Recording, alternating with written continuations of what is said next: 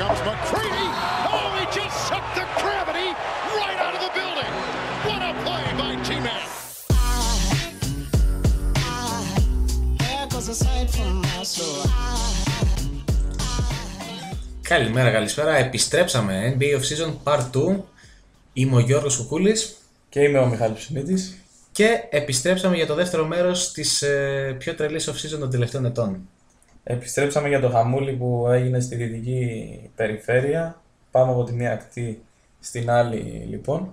Και διόρθωσέ με αν κάνω λάθος ε, Γιώργο, οι εξελίξεις ήταν πολύ περισσότερες στη δυτική περιφέρεια από ό,τι στην ανατολική. Αν όχι πολύ περισσότερο, ήταν ο... το οστικό κύμα που δημιούργησε ήταν απείρως πιο... τέτοιο, πιο συνταρακτικό. Ναι, γιατί αν εξαιρέσεις τις κινήσεις των Irving και Durant που κατάληξαν μαζί στους ε, Nets, δεν έχουμε τόσο μεγάλη αλλαγή στην Ανατολή. Δηλαδή οι Sixers παραμένουν contenders, οι Bucks το ίδιο, οι πρωταθλητές Raptors κάνουν ένα βήμα πιο πίσω με τη φυγή του Leonard. Οι Celtics επίσης. Ναι. Αλλά απ' την άλλη στη Δύση έχουμε νέες ε, ομάδες, οι Emerging Powers που βγαίνουν ε, από το πουθενά, οι Ε, Clippers πήγε. Επέστρεψε η Καλιφόρνια για τα καλά. Έτσι. Τρεις ομάδες πλέον ε, από την Pacific Division που θα διεκδικήσουν ε, για τα καλά τον τίτλο.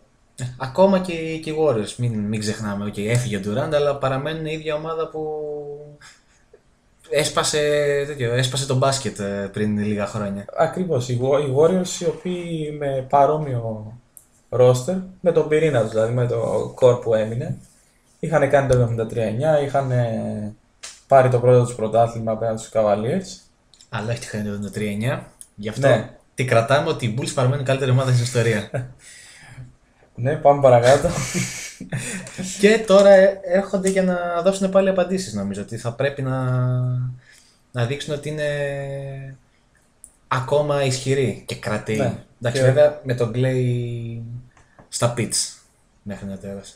στην αρχή της σεζόν, αλλά με τους υπόλοιπους ε, να είναι όντως σε αυτή την κατάσταση που λες στο να δώσουν ε, απαντήσεις.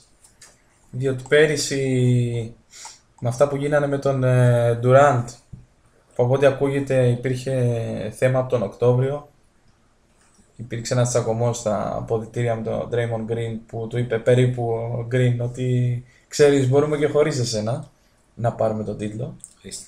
Τώρα, Δεν αποδείχθηκε βέβαια ούτε τα δύο προηγούμενα χρόνια, ούτε ε, φέτος όπου χάσανε από τους ε, Raptors. ε, και λογικά ούτε του χρόνου, να πω εγώ, να κάνω μια πρόβλεψη με πιθανότητα να, να με ντροπιάσουν. όχι μεγάλη, αλλά εκεί πάντα υπάρχει πιθανότητα. Ναι, θεωρώ ότι σιγά σιγά έχει έρθει και ένας κάποιος κορεσμός στην ε, ομάδα των ε, Warriors με τον ίδιο προπονητή, τους ίδιους παίκτες. Ναι, μεν είπαμε πριν ότι θέλουν να δώσουν απαντήσεις στο τι μπορούν χωρίς τον Durant, αλλά θα ήταν αλλιώς να είχαν ξεκινήσει με τον KD. Δηλαδή, ήδη έχουν πάρει τα πρωταθλήματά τους. Εντάξει, Και νομίζω ότι είναι και μεγάλη η απώλεια αυτή του, του Iggy. Πέρα από τον ο KD είναι ο αστέρας, αλλά ο Iggy ήταν αυτός που ξεκίνησε ουσιαστικά με την εμφάνισή τους στους τελικούς τη δυναστεία. Ο πρώτος MVP τελικών. Το είπε και ο Steve Kerr αυτό το πράγμα, ότι με έχει πονέσει λέει περισσότερο από οτιδήποτε άλλο στην προπονητική μου καριέρα αυτή η φυγή. Της αναπλήρω το κενό πραγματικά. Δεν ξέρω πώς μπορούν ε, οι Warriors με αυτούς που φέρανε να το καλύψουν. Τώρα με τον Glenn Robinson και τον Spellman από τους Hawks δεν υπάρχει περίπτωση να καλύφθει αυτό το κενό. Εντάξει, νομίζω ότι το πρώτο μισό της σεζόν θα είναι λίγο πειραματισμοί από τον, από τον Γκέρ. Ήρθε και ο, και ο Ντεάντζελο Ράσελ. Εντάξει, το λες και μ, αναπάντεχο και το λες και ένα έτσι μικρό, μικρό απόκτημα για να χρυσώσουμε λίγο το χάπι της, ε, της διάλυσης των, του μισού πυρήνα ουσιαστικά της προηγούμενης ομάδας. ο οποίος ε, Ράσελ ε, κανείς δεν ξέρει γιατί έχει έρθει. Δηλαδή η αρχική εκτίμησή μου είναι ότι προφανώς θα αντικαταστήσει στην αρχή της σεζόν τον τραυματία Clay Thompson. Όταν επιστρέψει όμως τι θα κάνουν οι Warriors, θα πάνε σε small ball με τρεις παίκτες, ε, τρία guard. Το, το βλέπω δύσκολο στο σημερινό NBA. Το νέο Death Lineup. Ε. Ε, δεν ξέρω, στο είπα και στο προηγούμενο επεισόδιο, ότι άμα κάποιος μπορεί να το, να το κάνει αυτό είναι οι Spurs και είναι και οι Warriors. Νομίζω αυτοί οι δύο προπονητές έχουν αυτή την εξυπνάδα και την. ε, ε, πώς το λένε, και τη δημιουργικότητα για να χωρέσουν σε σχήματα τα οποία δεν έχουν τόση λογική στο χαρτί. Ε, και ναι, μεν το NBA το σημερινό είναι positionless, αλλά άμα κοιτάξεις τους άμεσους ανταγωνιστές στην ε, Δύση, πώς θα τα βάλεις με ένα LeBron στο 3 των Lakers, με έναν ε, Paul George στο 3 των ε, Ναι, εκεί Clippers; θα έχεις θέμα στην, ε, στο, στο size και στην. ε, Θα πρέπει να αμυνθείς και να παίξεις και απέναντι σε πολύ καλύτερους ε, παίκτες στο, στο 3 από σένα. Πολύ πιο δυνατούς, πολύ πιο, πιο καλούς. Για να επιστρέψουμε και λίγο στο θέμα Durant, βλέπουμε τελικά ότι από πάντα έκανε κουμάντο ο πυρήνας στο Golden State. Δηλαδή, μπορεί να ήρθε με τη βούλα του καλύτερου παίκτη πλέον στο NBA, ίσως και πάνω από τον ε, LeBron σε παικτικότητα, ας το πούμε έτσι. Και πάλι όμως έμεινε, παρέμεινε η ομάδα του Steph Curry και ίσως έχει να κάνει με συναισθηματικούς λόγους ότι όλοι αυτοί οι παίκτες προήλθαν από τον draft, δηλαδή χτιστήκανε μέσα στην ομάδα. Ναι, το οποίο αδικεί για μένα και την, ε, το, το απίστευτο takeover που κάνει ο Durant σε, σε φάσεις ε, στα προηγούμενα δύο χρόνια και στα, φε- και στα playoff που μόλις τελειώσαμε. Δηλαδή, ειδικά στους τελικούς με τους Cavaliers πέρσι, πρόπερσι πλέον, ε, από σεζόν έχει κάνει απίστευτη σειρά. Η- Φέτος μέχρι να χτυπήσει στους πρώτους δύο γύρους ήταν ο λόγος που οι, οι Warriors πήραν τις, σχεδόν όλες τις νίκες που πήρανε. Έκανε, πήγε να κάνει ιστορι- ιστορικά καλά playoffs μέχρι να χτυπήσει. Και φάνηκε και όταν επέστρεψε για αυτό το μισό παιχνίδι στους τελικούς. Ότι ήταν σε μεγάλο οίστρο. Εννοείται. Γίνεται αυτό που όλοι λένε τα τελευταία χρόνια, η ομάδα του Κάρι στη regular και η ομάδα του Durant στα playoff. Αλλάζει ο franchise player ε, λόγω playoffs. Εντάξει, είναι νομίζω πιο killer ο Durant από τον. ε, όχι τόσο ότι δεν είναι killer ο Κάρι, αλλά έχει ένα οπλοστάσιο τόσο σωματικά όσο και παικτικά ο Durant, το οποίο δεν το έχει κανείς στο NBA. Ο μόνος που ίσως να μπορέσει να το αποκτήσει είναι ο Γιάννης άμα κάνει κάτι με το, με το shoot του, αλλά και πάλι ο βαθμός ο οποίος ε, μπορεί να εκτελέσει ο Durant από μακριά αλλά και από κοντά γενικά. Τα πάντα, ο Durant μπορεί να κάνει τα πάντα σε βαθμό που δεν, δεν το έχουμε δει από κανέναν παίχτη. Ίσως μόνο άμα προσπαθήσω να σκεφτώ κάποιον τον McGrady τη χρονιά του στους Magic. Μόνο αυτός. Και όμως παρόλα αυτά που λες που έκανε, ε, νιώθει και νομίζω ότι θα συμφωνήσω μαζί του ότι ποτέ δεν τον εκτίμησε ο κόσμος του Σαν Φρανσίσκο όπως το άξιζε. Ίσως γι' αυτό και αποφάσισε να αλλάξει το, το κεφάλαιο φέτος. Και νομίζω είναι και θέμα legacy. Διότι αν έμενε μέχρι το τέλος της καριέρας του στους Warriors, ωραία, ας έπαιρνε και 15 πρωταθλήματα, ποτέ κανείς δεν θα τον αναγνώριζε. Υ- Υπάρχει και αυτό το, το meme πλέον το οποίο κά- κάτω από κάθε από κάθε post από κάθε τι γράφουν όλοι still more meaningful than KD's two rings. Οπότε είναι και λίγο η κοινή γνώμη ότι καλά αυτά που έχεις κάνει, αλλά οκ. Κάνε κάτι μόνος σου. Εντάξει, τώρα και μόνος μου στους Nets ακριβώς δεν θα είναι, με τον Kyrie Irving και ένα καλό roster γύρω τους, αλλά Αλλά, ήταν σε μια παρόμοια φάση και στους Thunder με τον Westbrook.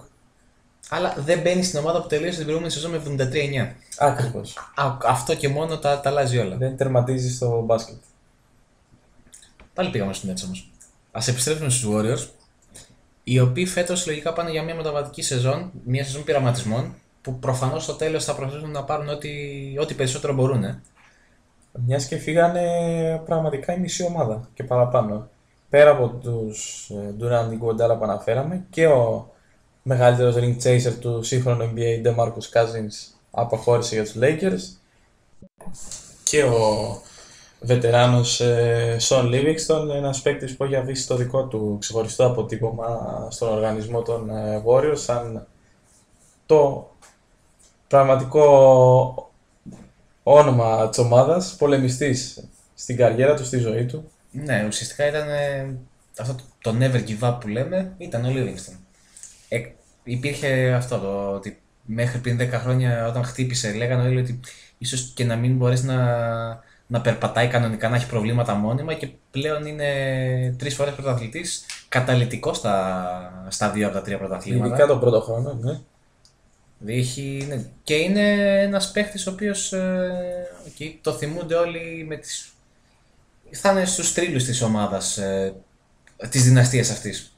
Και αυτή τη στιγμή δεν έχει ομάδα. Εντάξει, θα βρει λογικά κάπου. Και φύγανε και κάποιοι παίκτες. Γιατί όχι στους Clippers, να πω. εγώ. Ναι, Θα ήταν ένα ωραίο να επιστρέψεις. σωστός, κυκλικό σωστός. σχήμα. Και φύγανε και κάποιοι παίκτες ε, νεαροί, του οποίου δεν μπορώ να καταλάβω τον λόγο. Α πούμε, ο Τζόρνταν Μπέλ και ο Quinn Cook θα ήταν χρήσιμοι σε αυτή τη νέα προσπάθεια που θα κάνουν οι Βόρειοι φέτος. Ο Quinn Cook ήθελε να πάει και στους Lakers γιατί ήταν ε, όνειρο του πατέρα του, ο οποίος έχει πεθάνει. Είναι, ήταν για χρόνια φίλος των Lakers ο πατέρας του. Ε, και ουσιαστικά με το που του χτύπησαν την πόρτα δεν υπήρχε καμία άλλη επιλογή. Το, το δήλωσε και ο ίδιος. Και υπάρχει ένα ωραίο περιστατικό με τον, ε, με τον Cook, με το που υπέγραψε στο, στο Los Angeles, υπέγραψε και ο Dudley την ίδια περίοδο. Και ο Dudley ανακοινώνει ότι θα πάρει το νούμερο 2, το οποίο είναι το αγαπημένο νούμερο του, του Cook και του πατέρα του. Και πάει και του, του κλαίγεται στο, στο Twitter ότι σε παρακαλώ. Δημόσια, ε. ναι, μη μου το κάνεις αυτό. Και τελικά ο τίμιος ο Dudley του το, του το έδωσε. Εν τω μεταξύ, ποιο Dudley στου Lakers, τέλος πάντων. Έκλεισε τους Big 3, σύμφωνα με τον ίδιο. Α πάμε λοιπόν στους Lakers. Πάμε στο Los Angeles που σύστηκε αυτό το καλοκαίρι και από τις ε, δύο μεριές. Πρώτη οι Lakers με, τη, με το trade του Anthony Davis που το είχαμε καλύψει και εκτενώς ε, στο Ραμπόνα με άρθρο. Εντάξει, αυτό το τεπονίδι στο trade να πούμε. Γιατί, οκ, δεν νομίζω να έχει ξαναγίνει ποτέ στο NBA να έχει ε, υπάρξει παίκτης που να έχει αναγκάσει με τέτοιο τρόπο την ομάδα του να, να τον δώσει. Μέχρι και εκβιασμό το λες. Το, αυτό που έκανε ο Davis από το λίγο πριν το All-Star Break και, και έπειτα για να φύγει από, το, από, από τη Νέα Ορλεάνη. Εντάξει, βέβαια και ο ίδιος ήταν πλέον αυτό που λένε Αμερικάνοι fed up από την τακτική της ομάδας του που τόσα χρόνια δεν το έφερε ποτέ άξιους συμπαραστάτες ε, δίπλα του. Ίσως ο πιο σοβαρός παίκτης που είχε όλα αυτά τα χρόνια ήταν ο προβληματικός ε, DeMarcus Cousins. Ναι. Αλλά θα μπορούσε να το κάνει με ένα πιο με τάκτ. Να μην, τους, ε, να μην βγει στα social media, να μην βγει ο Rich Paul να, να μιλάει σε συνεντεύξεις και να τους ε, εκβιάζει και αυτός. Θα μπορούσαν να, να, να τα βρουν μεταξύ τους, ώστε να παίρνει και η Νέα Ορλεάνη στο All-Star Break κάτι, κάτι καλύτερο. Πήρε αρκετά καλό deal, αλλά σίγουρα 6 μήνες πριν θα βρεις και πολύ καλύτερο, καλύτερα ανταλλάγματα. από ό,τι βρήκε τώρα. Βέβαια, βέβαια, τη χρονική στιγμή που έγινε το deal, δηλαδή το καλοκαίρι και όχι στο All-Star Break, βόλεψε και τις δύο ομάδες εξίσου.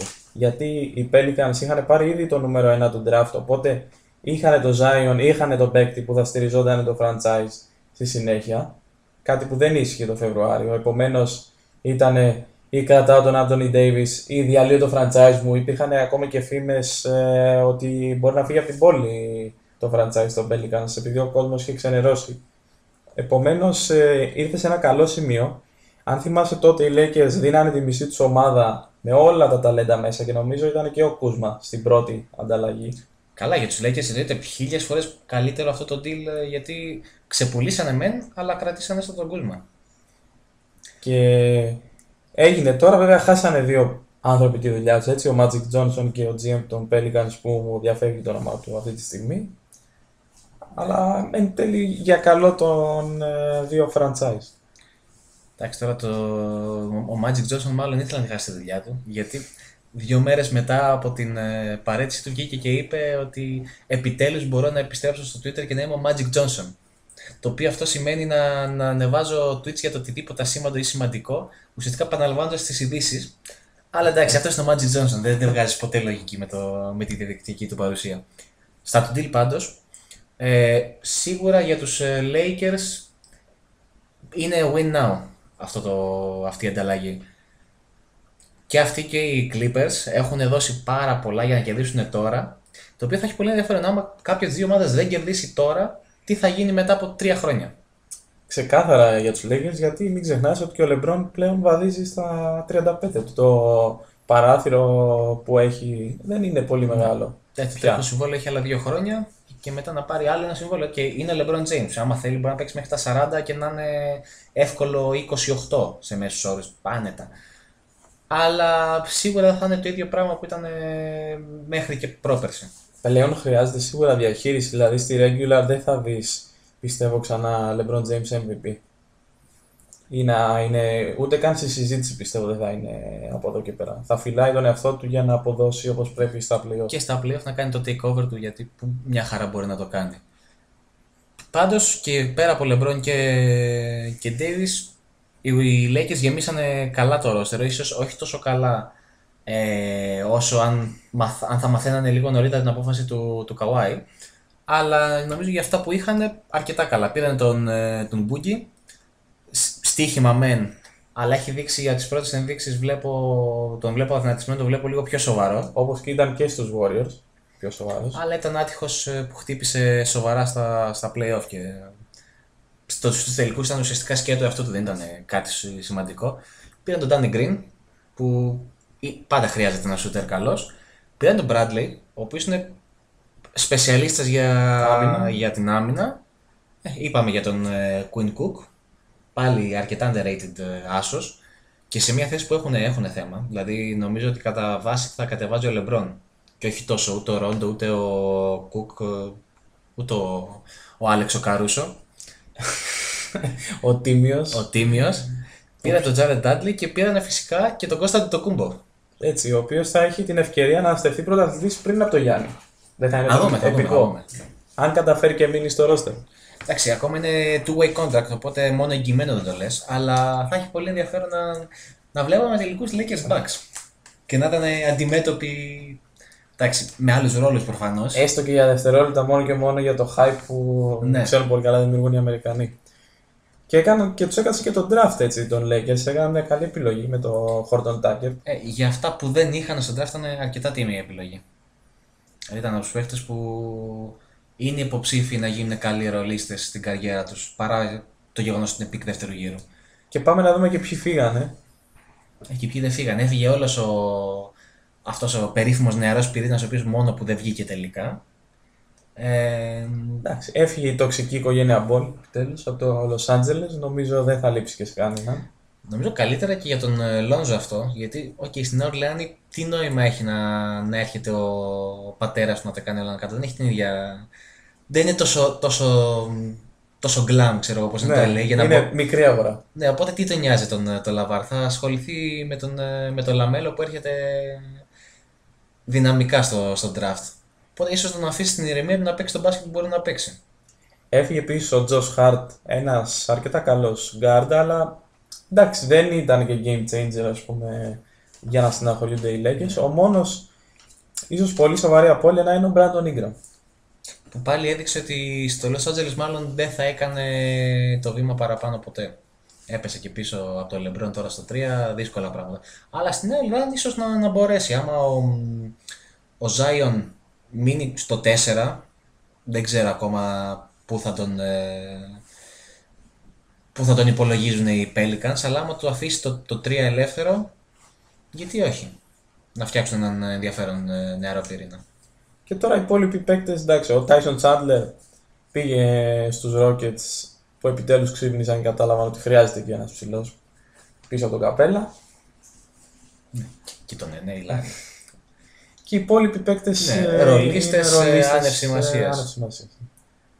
Εντάξει, είπαμε. Πολύ σημαντική παραμονή του, του Άλεξ του Καρούσο.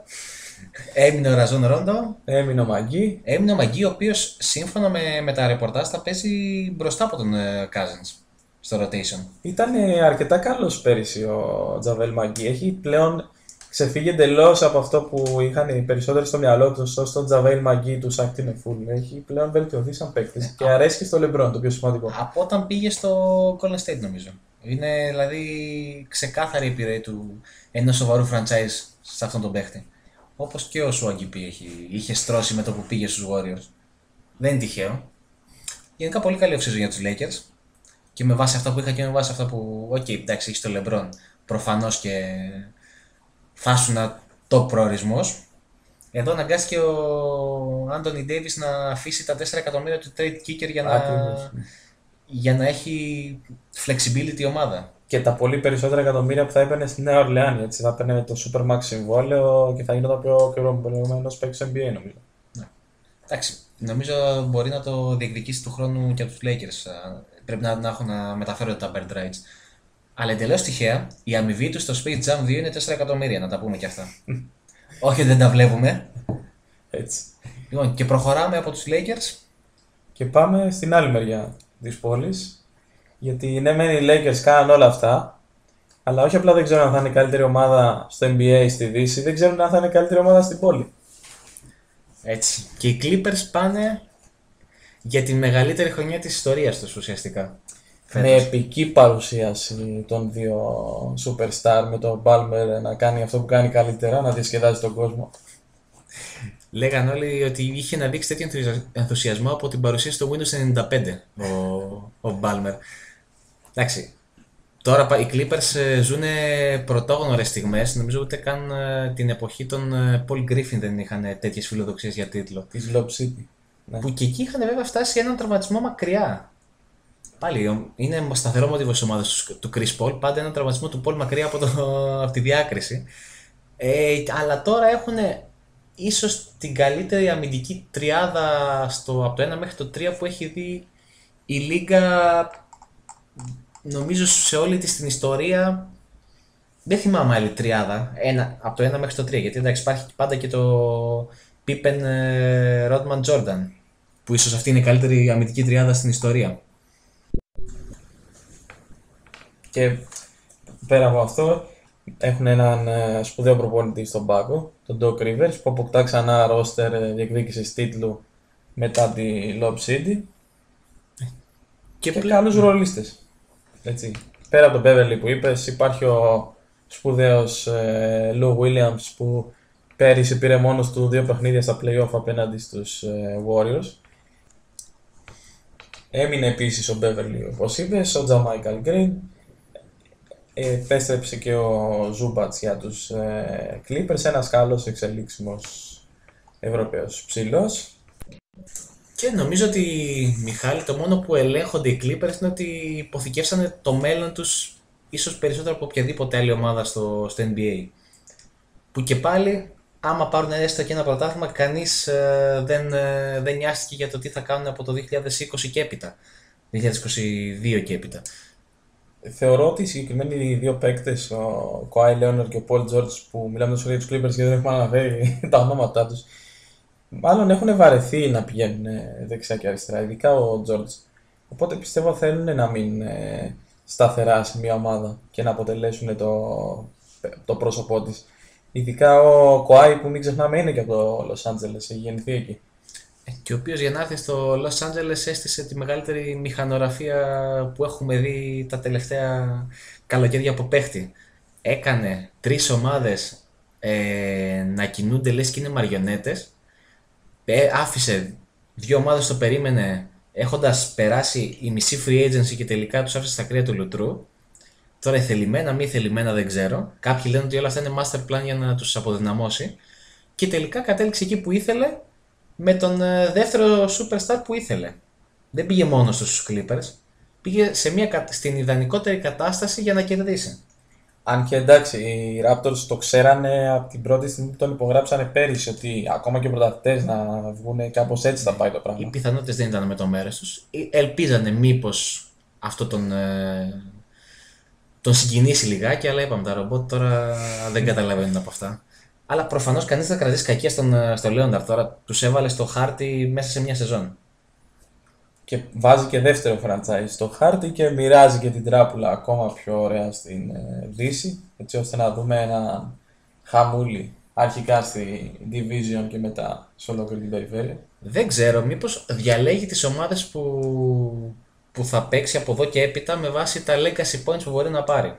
Δηλαδή, πήρε ένα πρωτάθλημα με τους ε, Raptors με ίσως την πιο loser ομάδα της ε, διαχρονικά της Ανατολής. Τώρα πάει να πάρει ένα πρωτάθλημα με την ομάδα που από την ε, δημιουργία της ήταν το, ο, ο μικρός παραμελημένος αδερφός των, ε, των Lakers. Ε, τι έχει μείνει, μόνο οι Knicks θα μείνουν μετά. που και αυτό είναι το boss fight που άμα το κάνει, εντάξει, ας τον πάμε πάνω και από τον Jordan. Και μην ξεχνάς ότι έχει πάρει ήδη πρωτάθλημα πριν από τους Raptors με τους Spurs, Ως όντας MVP τελικός. MVP τελ- των τελικών. Απλά επειδή όλα όσο κάνουν οι Spurs του Popovich είναι πάντα κάτω από το ραντάρ, για χρόνια τον είχαμε ξεχάσει θα έλεγα ότι υπάρχει στην Λίγα. Τον λέγανε, τον έλεγες ας πούμε τον καλύτερο αμυντικό παίκτη της Λίγας και μέχρι εκεί. Εντάξει, τον είχαμε ξεχάσει γιατί και ο, και ο Ζάζα αποφάσισε να βάλει το, το πόδι του και να το, να το σαμποτάρει και να το αφήσει ένα μισό χρόνο εκτός. Αλλά οκ. Okay. Α μην α, πιάσουμε το θέμα πατσούλια τώρα. Ας μην ξύνουμε πληγές.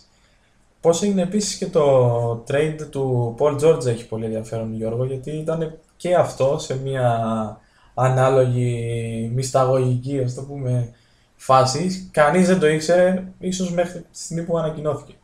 Ναι, γιατί αυτός που τα κινούσε όλα ήταν ε, ο Καουάι. Ζήτησε από τους ε, ε, από τις ομάδες που ενδιαφερόντουσαν για αυτόν να δούνε, το, να βρουν κάποιον ε, συμπαραστάτη του. Από ό,τι λέγεται, ε, οι Clippers κοίταξαν και, τους, ε, και την περίπτωση του Harden. Βέβαια, okay, προφανώς οι Rockets δεν θα τον δίνανε με όσα δώσανε οι, οι Thunder τον, ε, τον George. Αλλά γενικά είχε μάλλον δώσει το μήνυμα ο Λέοναρντ ότι άμα με θέλετε θα πρέπει να δώσετε κάτι, κάτι παραπάνω και να μου έχετε την ανάλογη συνοδεία. Και εν τέλει βολεύτηκε και ο Κλάχωμα, μιας και ο Τζόρτζ είχε εκδηλώσει ήδη τάσεις ε, φυγής, ανεξαρτήτως τι γινόταν ε, με τον ε, Λέοναρντ. Ακουγόταν πάρα πολύ ότι κατά 99% αν δεν πήγαινε στους Clippers θα πήγαινε στους Lakers. Και έχει πολύ πλάκα ότι τελικά η, η ανταλλαγή ολοκληρώθηκε μία μέρα πριν από την πρώτη επέτειο της Paul George Day στην Οκλαχώμα. Ε, πέρσι, όταν ε, ανανέωσε ο Paul George με τους ε, Thunder, ο δήμαρχος της ε, Οκλαχώμα του είχε δώσει το κλειδί της πόλης και είχε ανακηρύξει τις ε, 14 Ιουλίου, αν δεν κάνω λάθος, ως Paul George Day. Και στις 13 Ιουλίου ανακοινώνουν οι Thunder την ανταλλαγή του Paul George. Την ίδια ακριβώς μέρα που είναι Γιάννη Αντοκούμπο Day, να πούμε στο, Στο Milwaukee, ναι. Μάλλον γίνεται σε όλα τα franchise κάτι τέτοιο έχει παιχτεί. Δεν ξέρω. Όπως και να έχει τώρα, οι Clippers πάνε μάλλον αέρα στην, ε, στη φετινή σεζόν. Εννοείται και όπως είπα και πριν, αυτή η παρουσία του Doc Rivers ε, στον πάγκο προσδίδει σιγουριά ότι ο άνθρωπος ξέρει πώς να τους χρησιμοποιήσει. Πιστεύω ότι ήδη στο μυαλό του έχει καταρτήσει το πλάνο. Ναι, και είναι αυτό που λες, ότι τώρα τα επόμενα χρόνια έχουν το καλό ότι δεν στηρίζονται σε... Ο Λέοναρντ δεν είναι στην ηλικία του Λεμπρόν. Ε, οπότε ίσως αυτό το παράθυρο που θα έχουν να κερδίσουν να είναι λίγο μεγαλύτερο. Πάντα άμα αποφασίσει να μείνει και πέρα από τα τρία χρόνια του συμβολαίου του. Ε, και μετά βέβαια από το 2022, εντάξει πολύ μακριά θα μου πεις τώρα, ε, χάνουν τα, πα- δεν έχουν κανένα, κανένα pick. Έχουν δώσει 8 picks στην, ε, στην, Οκλαχώ, στην Οκλαχώμα για την ανταλλαγή του, του George. Δώσανε τον, ε, τον Alexander και ίσως το πιο σημαντικό κομμάτι του, της ανταλλαγής πέρα από τον George. Εντάξει, ο Γκαλινάρη είναι ένας παίκτης ο οποίος είναι πλέον, ε, αν δεν κάνω λάθος, είναι στα 30, στα 30 του, στα 31 του. Ε, αλλά τώρα για την ώρα νομίζω είναι, είναι καλά. Δηλαδή, πέρα από τους ε, Nets, νομίζω είναι η δεύτερη καλύτερη off-season στη, στη λίγα. Πάνω και από τον Lakers. Ωραία. Νομίζω ότι εξαντλήσαμε το Los Angeles, Την Καλιφόρνια. την Καλιφόρνια. Μπορούμε να προχωρήσουμε Εντάξει, υπάρχουν και οι Kings. στους Kings, αυτό να σου λέω. Ξεχάσαμε τους Kings. Τους ε, φτωχούς συγγενείς για άλλη μια χρονιά της ε, συγκεκριμένης ε, division. Πραγματικά τι γίνεται με αυτό το franchise Εγώ του Sacramento, γιατί έχω- δεν το παρατάνε. Ε, έχω πάντα ένα soft spot για, το, για την ομάδα του Sacramento. Γιατί πάντα ήταν ε, η, αυτοί οι περίεργοι συγγενείς στα οικογενειακά τραπέζια που πάντα είχ- είχαν πλάκα, αλλά τους έβλεπες και μια έτσι, όχι λύπηση, κατάλαβες πώς το, που το πάω. Ναι. Είναι τίμη, αλλά δεν ξέρω, δεν, δεν βλέπω δεν... το μέλλον. Ε, για πρώτη φορά βέβαια ότι έχουν κάτσει και έχουν φτιάξει ένα πυρήνα ο οποίος ε, Βλέπετε. βλέπετε έχει και μία προοπτική. Αλλά αυτό το καλοκαίρι απογοητεύσανε. Περίμενε ότι θα κάνουν το κάτι παραπάνω, θα κινηθούν για κάποιο, κάποια ουσιαστική απόκτηση. Τελικά δεν κάνανε τίποτα ουσιαστικά. Ανανεώσαν τον Harrison Barnes. Αυτή νομίζω ήταν η πιο σημαντική κίνηση του, του καλοκαιριού τους. Φέρανε τον Τρέβορα Ρίζα, ένα υπερτίμιο τριάρι, τον Deadmon από τους Hawks, τον Corey Joseph για βοήθεια στον Άσο. Ε, εντάξει, μέτρια πράγματα.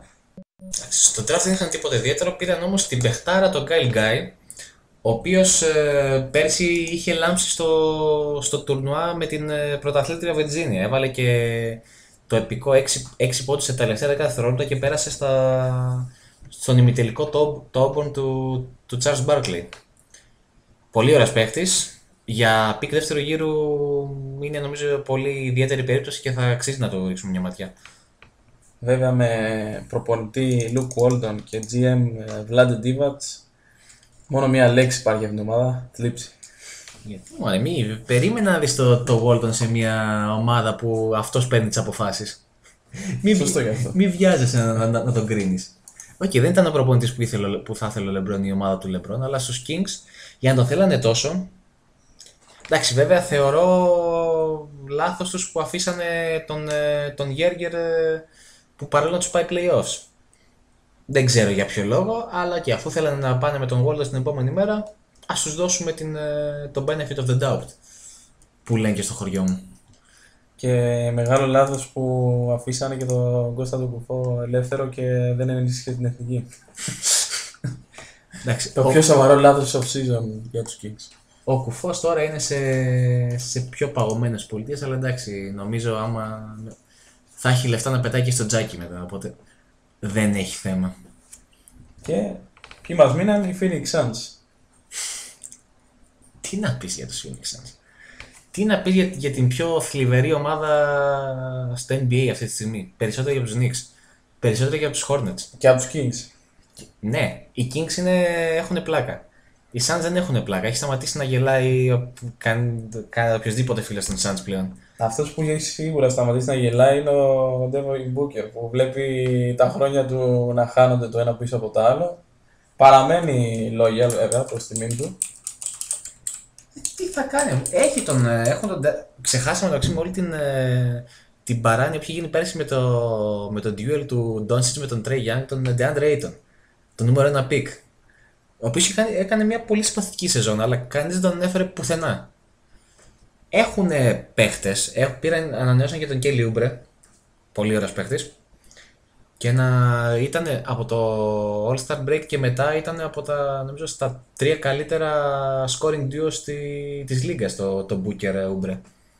Βέβαια εντάξει, ο Booker είναι μόνο 22 χρονών έτσι. γι' Αυτό που Ο είπα Booker- πριν, χάνεται το ένα χρόνο πίσω από το άλλο. Είναι 45 χρόνια στη Ναι. λίγα και παραμένει 22 χρονών. Εντάξει, μην ξεχνάμε παίχτες, δηλαδή βλέπουμε να μπαίνουν τώρα στον draft 22χρονοι και 23χρονοι και είναι κάποιοι παίχτες όπως ο Booker ή ο Bill οι οποίοι είναι βετεράνοι με... στα 22 τους. Το οποίο είναι σημαντικό για μια, για μια οποιαδήποτε ομάδα, αλλά για τον Booker νομίζω είναι η σεζόν που θα πρέπει να, να το δει και λίγο πιο σοβαρά κι αυτός. Δηλαδή τον θυμόμαστε για τον παίχτη ο οποίος βάζει 70 και 60 σε παιχνίδια τα οποία οι, οι Suns γίνονται blowout. Εντάξει, λίγο πιο ανούσιες και από τα διδαχτυλία του Durant με λίγα λόγια. ε, Ε, ίσως ήρθε η ώρα να κάνει μια breakout season και να δείξει ότι ξέρεις τι μπορείς να στηριχθείς γύρω από μένα. Δεν είναι ανάγκη να φέρεις τον υπερπαίκτη. Φέρε μου ένα καλύτερο πυρήνα. εντάξει, κάτι Να πήραν. μπορείς να λειτουργήσεις κι εγώ. Φέτος κάτι πήραν, όχι αρκετά πράγματα για να μπορούν να τους βγάλουν από το, από το βάλτο. Πάλι, πάλι άθλη θα είναι. Φέραν τον Ρούμπιο, έναν ε, άσο που εντάξει, δεν είχε το, το Phoenix. Ε, φέραν τον Dario Saric, Τον Aaron Baines, ε, καλό backup center. Δεν ξέρω, μάλλον βάλει κάτω από τα φτερά του τον, Ε- τον Aiton. Θα σε γελάσω. Φέραν τον Frank the Tank, τον Καμίνσκι. Ε, πήραν τον Cameron Johnson και τον Ty Jerome στο, στο draft. Είχαν δύο pick πρώτο γύρο. Καλοί παίχτες. Ε, γεμίζουν γενικά τον νερό πυρήνα. Και στην ουσία δεν χάσανε τίποτα, μιας και τον Corver δεν τον είχαν και ποτέ. Χάσαν τον Josh Jackson, ο οποίος ήταν ε, μεγάλη απογοήτευση. Δηλαδή, δεν ξέρω, δεν βγήκε και ποτέ. Ίσως τώρα θα το, η αλλαγή περιβάλλοντος να τον, ε, να το βοηθήσει στο Memphis. Αλλά είναι ένα από τα πολλά χαμένα στοιχήματα των Suns. Μάλλον ένας από τους πολλούς παίχτες που πηγαίνουν στο Phoenix και απλά βουλιάζουν στη μετριότητά του. Και κανείς δεν ξέρει τι κάνει αυτή η ομάδα. Θα κάνει rebuild, θα κάνει μια προσπάθεια να δείξει στον Booker ότι πρέπει να μείνει στο Phoenix και να μην ε, χάσουν και αυτόν. Τι Εντάξει. κάνει σε μια τόσο stacked ε, δύση που ακόμη και τα playoff φέτος θα είναι κατόρθωμα για οποιοδήποτε μέτριο franchise; Δεν ξέρω. Νομίζω ότι το Phoenix όσο έχει τον, ε, τον server ιδιοκτήτη απλά δεν πρόκειται να κάνει τίποτα. Είναι κλασική περίπτωση σαν τους Knicks. Όσο έχουν έναν ιδιοκτήτη που δεν νοιάζεται για, για τίποτα ουσιαστικά, δεν βοηθάει την ομάδα του, θα είναι, είναι καταδικασμένη να είναι αποτυχημένη και να είναι ο περίγελος της λίγας. Αυτά με την Pacific. Οπότε, all in all για το Phoenix, άστε, να, να, να ρίξουν το franchise από το Grand Canyon να ησυχάσουμε. και πού πάμε τώρα, Μιχάλη; Προχωράμε στην Northwest Division, μία από τις πιο ισχυρές division ε, σε αυτή την ε, off season. Με την εξαίρεση της ε, Oklahoma που το franchise τους άλλαξε εντελώς προς το χειρότερο. Εντάξει, χωρίς να το θέλουν αυτοί βέβαια. Εντάξει, ήταν δέσμοι των ε, συνθήκων ε, και των ε, γεγονότων που τρέχανε χωρίς ε, τη συγκατάθεσή τους. Άρα να ξεκινήσουμε από τους Thunder, με λίγα λόγια. Ε, εννοείται. Τέλος εποχής λοιπόν για τους Oklahoma City Thunder και τέλος εποχής για τον Russell ε, Westbrook. Το παίκτη που ήταν ο πιο loyal έτσι, από αυτούς που ξεκίνησαν τότε και βρεθήκαν στους τελικούς του NBA με τους hit του LeBron ήταν ο παίκτης που έμεινε περισσότερο. Και κάπως έτσι, ε, πλέον ο Steph Curry είναι ο πιο... ο παίκτης με, με τα περισσότερα χρόνια σε μία ομάδα. Γιατί αφού έφυγε και ο Westbrook από τους Thunder, έμεινε μόνος του. Νομίζω μπήκαν στο ίδιο draft. Ε, αυτοί. Ε, βλέπαμε το, το Westbrook να μένει εκεί όταν όλα αλλάζανε και τελικά ήταν αυτός που έκλεισε την πόρτα στην ε, αλλαγή σελίδας. Εντελώς πραγματικά λιγορικό. Η, άμα σκεφτείς ότι οι Thunder πέρυσι ξεκίνησαν τη σεζόν με τρεις superstar με το Westbrook, τον George και τον Carmelo Ναι. και μείνανε στους 0 φέτος, δεν έχουν κανένα. Εντάξει. Πάνε, έχουν τον Chris Paul, τι εννοείς. Σωστός. Δεν ξέρω για πόσο τον έχουν. Από ό,τι λένε, έχουν συμβασίσει με το γεγονός ότι θα ξεκινήσουν τη σεζόν μαζί. Γιατί δεν βρίσκεται κανείς να πάρει το συμβόλαιό του. Παίρνει 42 εκατομμύρια και είναι 33 πλέον. 34.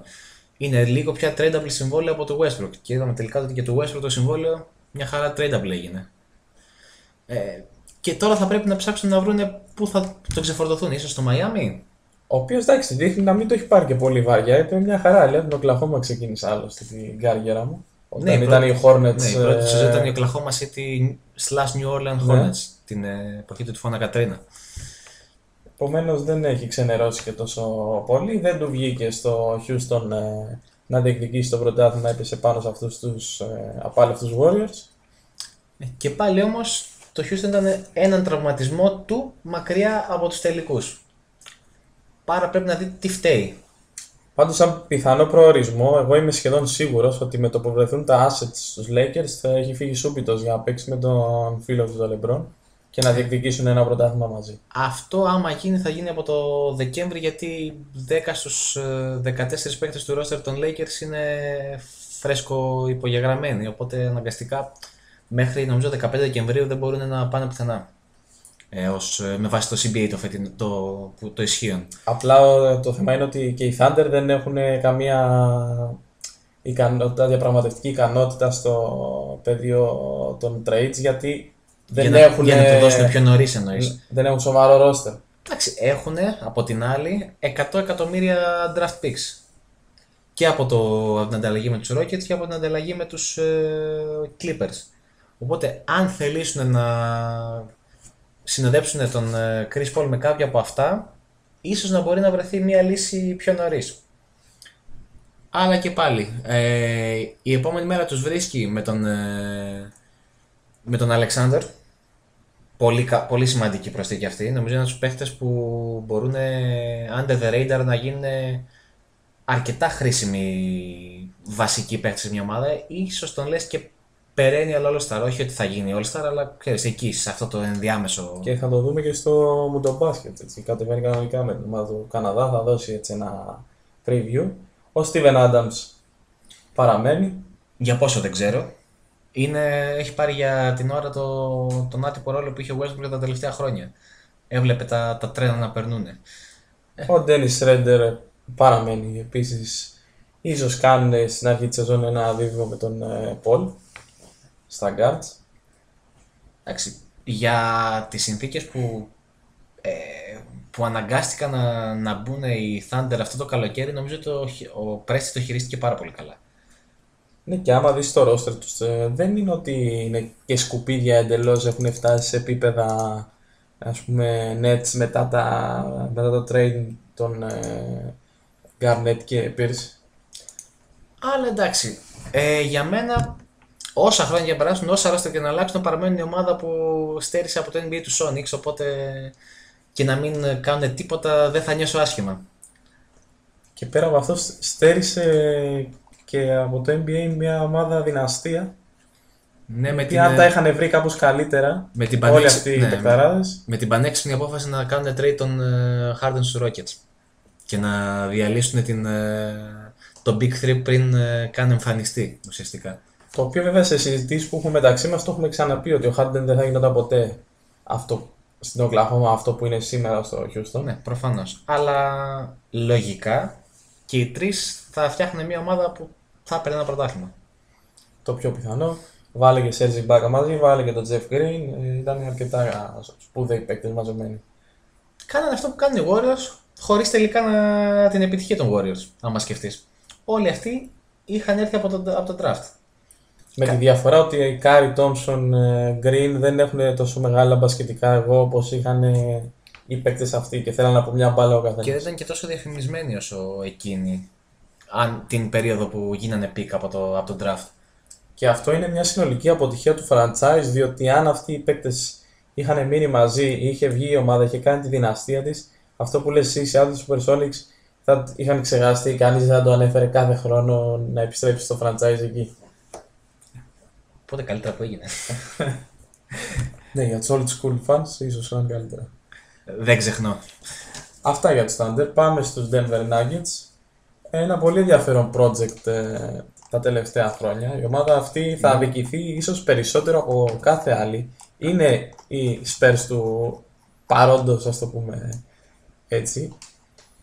Οι, οι Detroit Pistons, ας το πούμε, οι Detroit Pistons του τίτλου τους, του, με τον Billups ε, και τους υπόλοιπους ρολίστες. Είναι η ομάδα που έχει δουλέψει ίσως πιο συστηματικά από πάρα πολλές σε, αυτή τη, σε αυτό το πρωτάθλημα και αθόρυβα έχει φτιάξει ένα ρόστερ αρκετά ικανό. με ένα πολύ σπουδαίο προπονητή, τον Mike Malone, ο οποίος πέρυσι ήταν και ο προπονητής στο All-Star Game, επειδή οι Nuggets στο break ήταν πρώτοι Και τελειώσαν και πρώτοι. σε μια δύση η οποία εντάξει δεν ήταν τόσο stacked όσο θα είναι φέτος, αλλά Εντάξει, με αλλά Warriors Rockets παραμένει η Δύση, η γνωστή Δύση που 10 ομάδες παίζουν ε, για τα playoffs. Ε, και είναι ίσως η πρώτη φορά από την ε, μετά Καρμέλο εποχή που έχουν ε, μια ομάδα που τη λες οριακά και... Όχι contender, τι λες pretender όμως, Pretender. ε, από τους καλούς. Είναι από το, έτσι, από το δεύτερο tier των ομάδων ε, στη λίγα. και είναι κρίμα που όλοι αυτοί οι τίμοι παίκτες όπως είναι ο Jamal Murray, όπως είναι ο Paul Millsap και φυσικά ο Νικόλα Τζόκιτς ότι ακόμα και ο πρώτος γύρος στα playoff, έτσι όπως είναι τώρα η Δύση, μπορεί και να θεωρηθεί επιτυχία. Εντάξει, μην, μην ξεχνάμε ότι είναι μικροί όλοι. Δηλαδή, έχω, ο, ο Τζόκιτς είναι γεννημένος το 95. Ο, ο, Μο- ο Μόντε Μόρις ο- το 95, ο Τζαμάλ Μάρι το 97. Δηλαδή είναι παίχτες ε, που είναι ακόμα, ξέρω εγώ, τώρα ξεκινάνε την καριέρα τους ουσιαστικά. Ναι. Υπάρχει ο Μάικλ Πόρτερ Jr. ο οποίος θεωρητικά πέρσι ήταν ίσως το πιο pure ταλέντο της, ε, της draft class του και φέτος μπαίνει, στο, μπαίνει στη λίγα για πρώτη φορά. Βέβαια αυτό από ποια άποψη το λέω, ότι αν συνεχιστεί τα επόμενα χρόνια η κόντρα ανά- ανάμεσα στις ομάδες του Los Angeles και το ίσως τους Warriors, ε, πολλοί παίκτες θα ξενερώσουν. Δεν ξέρω κατά πόσο θα είναι λόγια ο Murray και ο Τζόκιτς για να συνεχίσει να κάνει κάτι καλό το Denver. Δεν ξέρω. Είναι, σε- ο Τζόκιτς είναι Σέρβος, δεν το φοβάμαι. Οι Σέρβοι είναι, έχουν μια άλλη ε, λογική στο μπάσκετ που πολλές φορές δεν συμβαδίζει με, με αυτά που σκεφτόμαστε εγώ, εσύ, οι Αμερικάνοι, οι Ευρωπαίοι όλοι. Δεν κινήθηκε και ιδιαίτερα το Denver στην ε, off-season. Νομίζω δεν χρειάστηκε γιατί το roster του ήταν ε, δεν είχαν και το flexibility να κάνουν κάτι άλλο πέρα από την ανανέωση του, του Μίλσα που θεωρήσανε σημαντικό να, να παραμείνει, να πάρει το, το option Ο του. οποίος στα 34 του θα εμφανιστεί για πρώτη φορά με την εθνική ομάδα των ΙΠΑ. Λογικά. Είναι στην 14 πιστεύω ότι θα είναι και στην τελική Άμα δεν δεκάδα. φύγει κι αυτός. Ναι. Κάνανε ένα πολύ ενδιαφέρον pick στο draft με τον ε, Bol Bol, Το γιο του Μανουτέμπολ. ο οποίος να δούμε αν θα, αν θα βγει. Γιατί έχει, έχει ένα skill set το οποίο δεν το συναντά στη λίγα. Παίχτη με το ύψος του και με το ε, versatility του είναι πολύ σπάνια. Τον είδα σε ένα βιντεάκι, είναι ένα παιδί ύψους 2,18. Εντάξει, δεν έφυγε στον πατέρα του που είναι 2,31, μόνο 2,18 πήγε το παιδί. Και έχει πολύ καλό σουτάκι. Το οποίο δεν ξέρω, σε τέτοιο ύψος πότε έχουμε να το δούμε. Νομίζω δεν το έχουμε. Ίσως μόνο από το Yao Ming. Ναι. Και αυτό έχει από τόσο μακριά. Α, τώρα που λέμε μια παρένθεση, επειδή το πρώτο επεισόδιο ήταν μια εβδομάδα πριν και τρέχουν εξελίξεις. Ο Τάκο Φόλ πήρε εγγυημένο συμβόλαιο στη Βοστόνη. Σήμε- σήμερα. Σήμερα που ηχογραφείται είναι Παρασκευή. Εσείς θα τα ακούσετε λογικά κάνα δύο μέρες μετά. Ο Τάκο Φόλ είναι στο, έχει το τελευταίο roster spot των ε, Celtics και είμαστε χαρούμενοι γι' αυτό. Δεν ξέρω πού θα τον πάρει αυτό το ταξίδι, αλλά Και περιμένουμε μαμαχιά με τον Bol Bol. ναι, θα έχει, θα έχει πολύ ενδιαφέρον. Θα είναι ένα ωραίο narrative. Αυτά πάνω κάτω για τους, ε, για τους Nuggets. Δεν ξέρω αν έχει κάτι σημασία να πούμε κάτι παραπάνω. Όχι, νομίζω μπορούμε να προχωρήσουμε. Minnesota Timberwolves. Καλό ροστεράκι. Οι Timberwolves εδώ και χρόνια, αλλά μένουν στάσιμοι. Δηλαδή, ο Κατ πότε επιτέλους θα κάνει αυτό το βήμα παραπάνω. Ο Wiggins Εντάξει, πότε ο, θα κολλήσεις στο, ο στην Kat, ομάδα; ο Kat κάθε χρόνο, εντάξει, δεν είναι και πολλά χρόνια στη Λίγα, κάθε χρόνο και καλύτερος. Ναι, και αυτός μικρός είναι. Απλά είναι, ξέρεις, αυτό που είπες πριν, ότι τους βλέπουμε τόσο πολύ καιρό που νομίζουμε ότι είναι Ναι. βετεράνοι. Ναι, ε, αν υπάρχει κάποιος παίκτης με τον οποίο πρέπει να βαρέσουν καμπανάκια, να πέσουν κεραυνοί και τέτοια, είναι ο Wiggins, όχι ο Kat. Ο Kat θα, τη βρει την, ε, θα το βρει το δρόμο του, ίσως και μετά από αυτό το, το κράξιμο που έφαγε από τον ε, Jimmy Butler, ε, να του έχει αλλάξει και η, αυτό το, το soft ε, mentality που είχε. Και, ήταν, και ουσιαστικά είναι το μόνο πράγμα που τον ε, χωρίζει από, το, από, τα, πραγμα- από την πραγματικά σπουδαία καριέρα. Είναι ελάχιστοι παίχτες που έχουν αυτό το, το χάρισμα που έχει ο Κάτς στο να, γε- στο να γεμίζει τόσο άνετα το stat sheet με οτιδήποτε θες. Είτε άμυνα είτε επίθεση, ό,τι θες. Και πάντα under the radar, έτσι. Ποτέ δεν είναι στη συζήτηση για τους κορυφαίους. Είναι κλασικά μία από τις επιλογές μου στο Fantasy του NBA γιατί ακριβώς είναι τόσο ικανός σε τόσα πολλά πράγματα και τόσο πολύ, όχι πολυτάλαντος, πολύ, Πολυδιάστατος. Ναι, πολυδιάστατος. Από τους πιο πολυδιάστατους παίκτες της λίγας. Έκανε και καλές προσθήκες στο second unit ε, η Minnesota. Ήρθε ο Jordan Bell από τους ε, Warriors. Πολύ σπουδαία περίπτωση. Ο, το οποίο, δεν- όπως είπα και πριν, οι Warriors δεν ξέρω γιατί τον ε, αφήσανε. Ο Robert Covington, ένα πάρα πολύ καλό τριάρι από τους Sixers, αλλά από Ναι, ό,τι είχε, είχε ακούγεται, έρθει με την, ε, αυτό είχε έρθει στην ανταλλαγή του, του Butler. από ό,τι ακούγεται είναι στο trade block. Δηλαδή τον έχουν για asset ώστε να τον δώσουν άμεσα, θα δούμε. Ήρθε ο Τίμιος Αμπάς Ναπίρ και ο Εντάξει. Νόφον Καλοί παίκτες για second unit. Τα, το σημαντικό pick ήταν αυτό του Jared Culver στο, στο draft που έκανε η Minnesota το, το, το trade up για να τον αποκτήσει. Πολύ καλός παίχτης. Άλλος ένας στον, ε, στον πυρήνα, τριάρο, τριάρο τεσάρι, αρκετά καλός. Ε, γενικά δοκιμάσανε, κάνει και μια προσπάθεια να φέρουν και τον ε, D'Angelo Russell. Ε, το οποίο νομίζω θα ήταν ε, ίσως η πιο fan του watch ομάδα της, ε, της Λίγκας άμα καταφέραν κάτι τέτοιο, αλλά όταν μπαίνουν στη μέση οι Warriors Λίγο you can- δύσκολα τα You πράγματα. can do so much. Και χάσανε βετεράνους παίκτες, τον Daz Gibson που πήγε στους Knicks και Εντάξει, πήγε φυσικά στο σπίτι τον αγαπημένος σου παίκτη όλων των εποχών, τον Derrick Rose. Που έπεσε λίγα χιλιόμετρα μακριά από εκεί που θα έπρεπε να πέσει, αλλά... Οκ, τα είπαμε στο προηγούμενο επεισόδιο αυτό. Εντάξει, Αυτά. Μέτρια πράγματα, Μέτρια δεν χρειάζεται να πράγματα. κάτσουμε παραπάνω. Δύσκολα τα playoff για τους Minnesota. Αλλά θα όπως είναι και- έκπληξη αν ναι, πούμε. όπως και να έχει, θα έχει πολύ ενδιαφέρον να τους δούμε για άλλη μια χρονιά. Θα είναι μία από τις ομάδες που στα League Pass Rankings θα είναι καλά. Και πάμε στην, ε, νομίζω, δεύτερη αγαπημένη ομάδα όλων των φίλων του NBA. Έχεις μια ομάδα και έχεις και τους Portland Trail Blazers του Lillard. Και γιατί όχι; Καλά, βέβαια είναι μια ομάδα η οποία έχει ιστορικό στις ε, ατυχείς επιλογές και στις ατυχίες. Δηλαδή ατυχείς... Από πού να το πιάσεις, Ναι. έτσι, από τον Sam Bowie αντί του Jordan, από τον ε, Brandon Roy, από τον Είχε Greg και Oden. Πρόσφατα γενέθλιά του Ρόι και θυ- ήταν άλλη μια υπενθύμηση του ίσως το δεύτερο μεγαλύτερο what if μετά τον ε, Derrick Rose την τρέχουσα χιλιετία. Εντάξει, ο Greg Oden τώρα ε, μας δείχνει τα ταλέντα του στο, στο Big 3. Κάτι είναι και αυτό, τουλάχιστον παίζει μπάσκετ. Ναι. Και βλέπεις έναν Lillard ο οποίος όλα αυτά τα χρόνια πάλευε σχεδόν μόνος του επιτέλους να δείχνει ότι ίσως να, να έχει λίγη βοήθεια. Έκανε από, από σπόντα μια σεζόν που δεν την περίμενε κανείς στο Portland. Δηλαδή νομίζω ότι στο καλύτερο σ- στα πιο καλά όνειρα Τα πιο τρελά τους ναι, όρια, ναι, να πάει τελικούς δι. να πάει τελικούς δύσεις από το πουθενά και χωρίς τον, ε, τον Yusuf Nurkic ο οποίος χτύπησε και σοβαρά κιόλας. Επιστρέφει όμως. Το loyalty του Lillard εντάξει είναι δεδομένο. Ναι, Ο CJ McCollum κάθε χρόνο και καλύτερος. Και φύγανε παίκτες βασικοί. Έφυγε ο Μορ Χάρκλες, Πολύ καλό και δουλευταρά. Ε, πολύ καλό τεσσάρι και δουλευταράς. έφυγε ο δεύτερος ο καλύτερος Αλ Φαρούκ Αμίνου. Λε- Λέοναρντ της Λίγκας. Ναι. Και ο Αλ Φαρούκ Αμίνου, ο οποίος ήταν πάντα μια τίμια επιλογή στο 3 και γέμιζε το stat sheet. Αλλά με αυτούς τους Ναι. παίκτες δεν μπορούσες να κάνεις το βήμα μπροστά. Ναι, αλλά τι πήραν όμως; Πήραν τον ε, Hassan Whiteside στο deal του Jimmy Butler. Που, οκ, όσο προβληματικός και αν είναι σαν χαρακτήρας και σαν σταθερότητα, είναι ένας παίκτης ο οποίος εύκολα είναι ένα. Ένα 18-8, ένα 18-10. Και μαζί Άνετα. με τον Νούρκιτ, σκέφτεσου στο 4 τον Νούρκιτ, στο 5 τον Whiteside, θα είναι φόβητρο σειρά και εδώ. Πήραν τον Gasol, ο οποίος παραμένει ένας ε, πανέξυπνος παίκτης και να μπει 5 λεπτά θα κάνει Πώ τόσο είναι διαφορά. 45 είναι.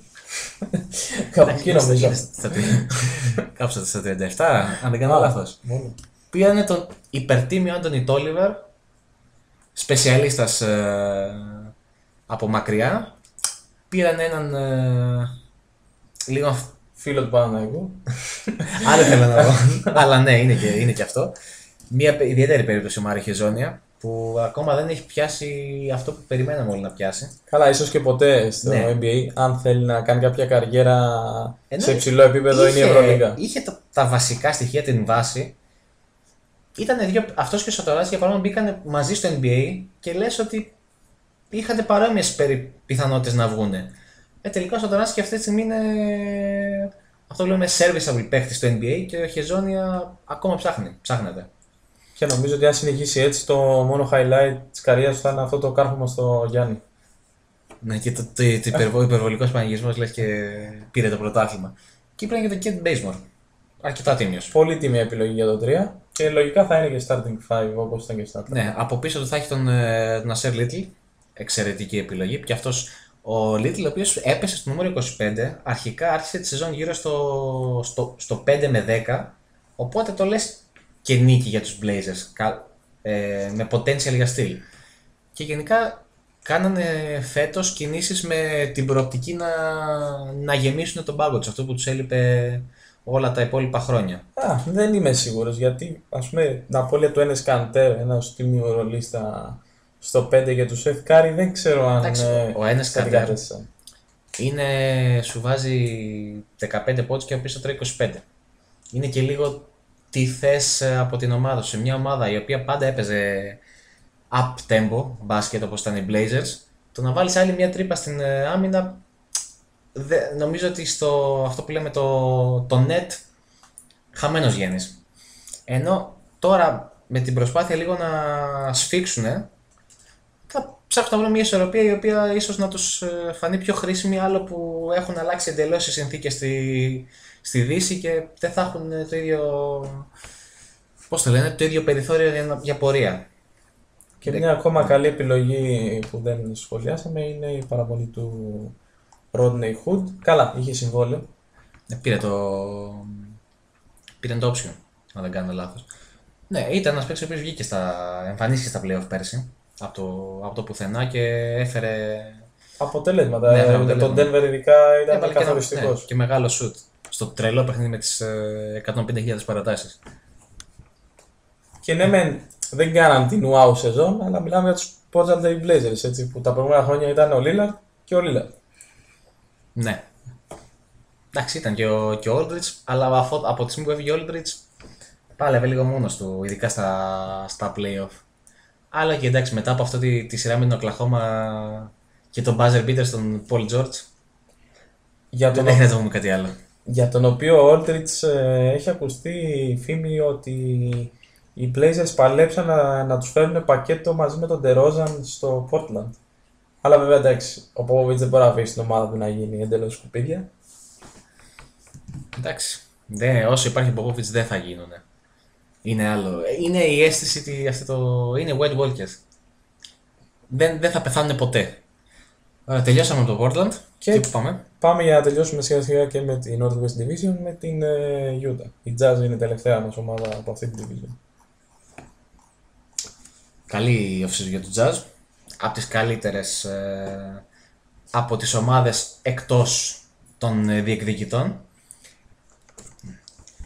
Κινηθήκανε με ένα συγκροτημένο πλάνο και αν εξαιρέσεις ε, τις τρεις ομάδες που ξεχωρίσανε, τους δύο του LA και τους ε, Nets, κάνανε την καλύτερη off-season ίσως για μένα.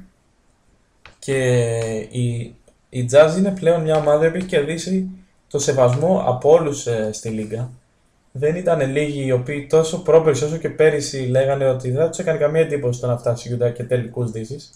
Ναι, η Utah νομίζω ήταν πάντα άλλον έναν παίχτη ε, βαρόμετρο από, την, ε, από το να γίνει contender. Πήρε τον ε, Conley, οπότε ίσως τον απέκτησε αυτό τον παίχτη που χρειάζεται, μαζί με τον ε, Mitchell, ο οποίος λογικά φέτος τρίτη σεζόν στη Λίγκα πάει για μεγάλα πράγματα, μαζί με τον ε, Gobert και φέρανε και τι δεν φέρανε. Φέραν τον, ε, τον Bojan Bogdanovic. Φανταστική κίνηση στο τριάρι. Μα αυ- αυτός και ο, και ο Ingles, τι άλλο θες, από... Έξυπνους παίκτες Ευρωπαίους. Ναι, πανέξυπνοι παίχτες. Ε, international. Ναι, sorry, international. Ο English είναι ο Αυστραλός. Ναι. Πήραν το, το Jeff Green, ο οποίος στο 3-4 σου δίνει κάτι διαφορετικό που δεν το είχαν οι, δεν το έχει ούτε ο Ingles, ούτε ο Bogdanovic. Εύκολη πολύ προσθήκη, μιας και ήταν σε ένα ε, franchise τελειωμένο τους Cavaliers και είχε απογοητευτεί εντελώς. Το Ned Davis για να Γεμίσαν τη καλύψει ρακέτα. τον Favors που έφυγε. Μία κίνηση με μηδενικό ρίσκο και τεράστιο potential για reward τον, ε, το Moody A, τον οποίο ακόμα και, ακόμα και φέτος θεωρώ ότι κάτι έχει να προσφέρει σε αυτό το πρωτάθλημα. Δηλαδή είναι κρίμα αυτός ο παίχτης να είναι τόσο αποτυχημένος στην καριέρα του μέχρι στιγμής. Και πάνε με ένα γεμάτο roster. Εντάξει, το draft δεν κάνανε κάτι ιδιαίτερο. Πάνε με ένα. Α, τον Nigel Williams ε, Ghost Ghost, πήρανε. Σωστό. Είδε. Κατευθείαν από τον Ολυμπιακό. Ναι. Ο Williams Ghost που το ψάχναμε πριν και ήταν ε, μέλος ε, της ομάδας των Under 20, τον είπα, στο, σε κάποιο τέλος πάντων ε, μουντομπάσκετ της Ναι. περασμένης πενταετίας. Δεν είναι άγνωστος στη ΣΥΠΑ. Δεν είναι άγνωστος δηλαδή στη ΣΥΠΑ. Δεν ήρθε από το πουθενά η μεταγραφή αυτή, επειδή πολλοί Έλληνες φίλαθλοι παραξενευθήκανε. Και στην Παρτιζάν και κάνει και μια αρκετά συμπαθητική σεζόν. Δηλαδή ψήθηκε και μπορεί να πάρει την ευκαιρία του κι αυτός. Αλλιώς υπάρχει πάντα η G League. Εντάξει, δεν θα ακροβατεί εκεί στη 10η με 15η θέση του ρόστερ. Εντός και εκτός NBA. Ε, αλλά όπως και να έχει, οι Utah Jazz πρέπει να είναι πάρα πολύ ευχαριστημένοι με αυτό που κάνουν και να έχουν και ουσιαστικές ελπίδες για, για κάτι. Και σε άλλες χρονιές θα μιλάγαμε αλλιώς για τα δεδομένα τους στα playoffs. Απλώς φέτος είναι μια ιδιαίτερη χρονιά με όλο αυτό που έχει γίνει στη Δύση που δεν επιτρέπει σε κανέναν ας το πούμε μεγαλομεσαίο να ονειρευτεί. Αλλά παρόλα αυτά είναι αυτό που είπα και πριν, έχει κερδίσει το σεβασμό από όλους στη Λίγκα. Και είναι σίγουρα ίσως από τις πιο fan to watch ομάδες στο NBA. Δηλαδή, ακόμα και να μην ε, έχετε ως μέλημά σα τις πιθανότητε για, για επιτυχία, αν θέλετε να δείτε μια ομάδα που να παίζει καλό μπάσκετ, ε, στρωτό μπάσκετ, να έχει παίχτες που ξέρουν ε, και κεφαλικά να παίζουν μπάσκετ, πρέπει να δείτε τους Jazz. Και φυσικά αυτό οφείλεται και στο Quinn Snyder, έτσι, ένας σπουδαίος προπονητής. Και τελείωσαμε με τη Northwest και από το βορρά πάμε στον ε, Νότο Πάμε. και στο Texas, Wild West. στο, στη Wild West που δεν είναι τόσο wild πια. Δεν είναι αυτό το πράγμα που υπήρξε και χρονιά που είδαμε στα play-off και τις πέντε ομάδες ε, της, περιφέ- της Division, συγγνώμη. Αλλά εντάξει, έχουν ένα, έστω ένα φαβορή για το πρωτάθλημα Ναι, έχουν και ένα. αρκετά ενδιαφέρον project, ενδιαφέροντα projects. Εντάξει, νομίζω ε, πρέπει να ξεκινήσουμε από το Houston οι οποίοι ε, φέρανε το επανε, επανενώσανε το, το δίδυμο Harden Westbrook και νομίζω κάνουν άλλη- την τελευταία προσπάθεια αυτού Του Moriball. Στο Ναι. πούμε έτσι. με, με, με τη λογική του Νταντώνη και του Χάρντεν όπως είναι η ομάδα έτσι να πετύχει. Ίσως άμα δεν πετύχει ούτε αυτό θα πρέπει να, να αλλάξουν. ε, Οι Rockets είπες πριν ήταν πάντα ένα τραυματισμό του Chris Paul ε, πριν, τα, πριν τον τίτλο, μάλλον ήταν πάντα ένα franchise των Warriors πριν, το, πριν τον τίτλο. Πλέον είναι πολύ μεγάλο ρίσκο η, το trade με τον ε, Westbrook. Δεν ξέρω δηλαδή κατά πόσο θα βγει, πόσο θα ταιριάξουν. Ο ίδιος και ο Harden που ήδη έχουν ακούσει τα μοίρια όσα για το πώς θα συνεπάρξουν και ότι θέλουν δύο μπάλες και ότι τα εγώ τους θα μπουν πάνω από την ομάδα. Ναι, αλλά τι να κάνεις; Δηλώνουν συνέχεια ότι το έχουμε παιδιά, μην ανησυχείτε. Τι άλλο να κάνεις; Όταν έχεις τρεις, ε, δύο ομάδες και ίσως και τους Warriors τρεις που πάνε με, για τον τίτλο και εσύ κινδυνεύεις να μείνεις πίσω Θα κάνεις αυτή την κίνηση απελπισίας desperate times, desperate measures. στην ουσία. Οκ, μπορεί να μην είναι απελπισίας στο τέλος να τους βγει ιδανικά. Εντάξει, θα δούμε. Αλλά παίρνεις έναν ε, παίχτη ο οποίος είναι πλέον στα 30 του. Ε, έχει περάσει και δύο σοβαρούς τραυματισμούς. Στηρίζεται κατά 99% στην αθλητικότητά του και λιγότερο στο, στο ταλέντο του και στο μπασκετικό του IQ που έχει ταλέντο. Δεν έχει shoot, όπως λέει και ο Colin Head, Ναι. είναι επιπόλαιος, είναι ένας παίκτης ο οποίος off the ball δεν προσφέρει τίποτα, δηλαδή πρέπει να πάρει την μπάλα στα χέρια του για να κάνει αυτό που ξέρει. Είναι, Και δυστυχώς αυτό τον ίδιο ρόλο έχει και ο superstar της ομάδας, ο Harden. είναι κίνηση τα ρέστα μου. Αν και προς υπεράσπιση του, του Westbrook φέτος, όταν είδε ότι ο George έκανε το step up στο Thunder, έκανε ένα βήμα πίσω. Ναι. Ναι. Εντάξει. Ε, θα δούμε τι, πώς θα δουλέψει αυτό. Κάνε και μία προσπάθεια να γεμίσουν εκεί που, τα σημεία που πονάνε. Πήρανε τον ε, Tyson Chandler. Πήρανε τον, Α- το, το πρώην νούμερο ένα pick τον Άντωνι Μπένετ. Ε, παλαβή μεταγραφή, άνευ λόγου. δεν μπορώ να καταλάβω. Ένας παίκτης ο οποίος δεν είχε πείσει ούτε καν ε, τη Φενερμπαχτσέ να τον ε, ξεκινάει. Εντάξει, μπορεί να πιστεύουν ότι η χρονιά τους στο, στη G League και στους ε, Clippers ε, θα είναι, είναι κάποιο δείγμα ότι ίσως να έχει, να, να έχει κάτι να προσφέρει. Είναι βασικά κινήσει απελπισίας για την ε, θέση 5 που είδαν ε, επιτέλους ότι ξέρετε, δεν γίνεται μόνο το κάπελα. Δεν τραβάει. Ναι, η δεύτερη τους επιλογή ήταν ο Νενέ, ο οποίος δεν μπορεί να μείνει και εντάξει, πόσο να μείνει υγιής. Είναι και μιας ηλικίας. Καλά, όχι ότι ο Tyson Chandler είναι πολύ μικρότερος. Είναι αισίως 37. Δεν το λες νεούδι. Αλλά κάπως πρέπει να, να, Να, γεμίσει γεμίσεις, ραγέρα. ναι. ναι. Από εκεί και πέρα. Το roster παραμένει τίμιο. Δηλαδή, Το έχουν roster είναι καλό. τον BJ Tucker έχουν, πήραν τον Ben McLemore, ο οποίος πάλι ούτε αυτός ήταν ε, αυτό που ελπίζαν όλοι όταν έγινε draft, αλλά μια χαρά μπορεί να βοηθήσει. Ο Eric Gordon παραμένει, ο Gerald Green παραμένει, ε, ο, ο Νουάκο νομίζω παραμένει. Εντάξει, Γενικά, με αυ- αυτά έχουν, αυτά θα, με αυτά θα πορευτούν.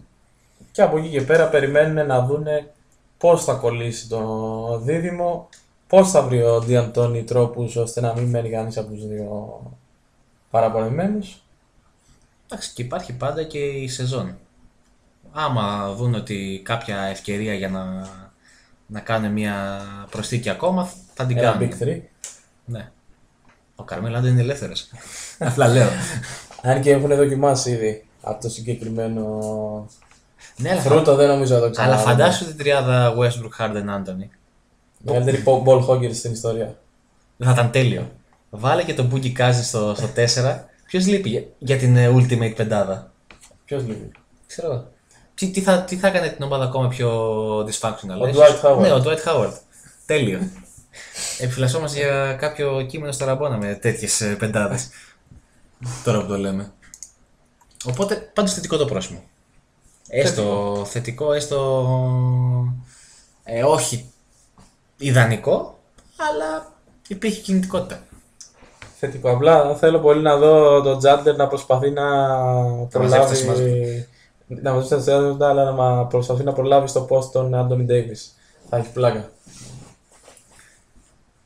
Και συνεχίζουμε με Dallas Mavericks με την The Euro era όπως έχω γράψει εδώ στις ε, σημειώσεις μου. Doncic και Porzingis, οι δύο μονόκεροι του NBA. την αγαπώ αυτή την ομάδα μόνο και μόνο που έχει το, αυτούς τους δύο. Ειδικά τον, ε, τον Doncic. Και η πλάκα είναι ότι πάμε από την μία Euro era του Νοβίτσκι στην επόμενη. Και φαίνεται ότι ο Mark Cuban γουστάρει Ευρωπαίους. Κρατήσανε τον, ε, τον Porzingis με, με πολλά λεφτά. Με max contract. Χωρίς να τον έχουμε δει καλά καλά έτσι, μιας και έχει καταφτάσει στο Texas τραυματίας. Ναι, και έχει να παίξει και 1,5 χρόνο κοντά. Δηλαδή έχει πάρα πολύ χρόνο. Ε, αφήσανε το, τον Κώστα Αντετοκούμπο να φύγει.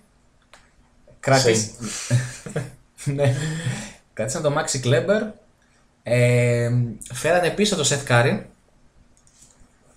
Και φέρανε και τον Μπόμπαν τον Μαριάνοβιτς.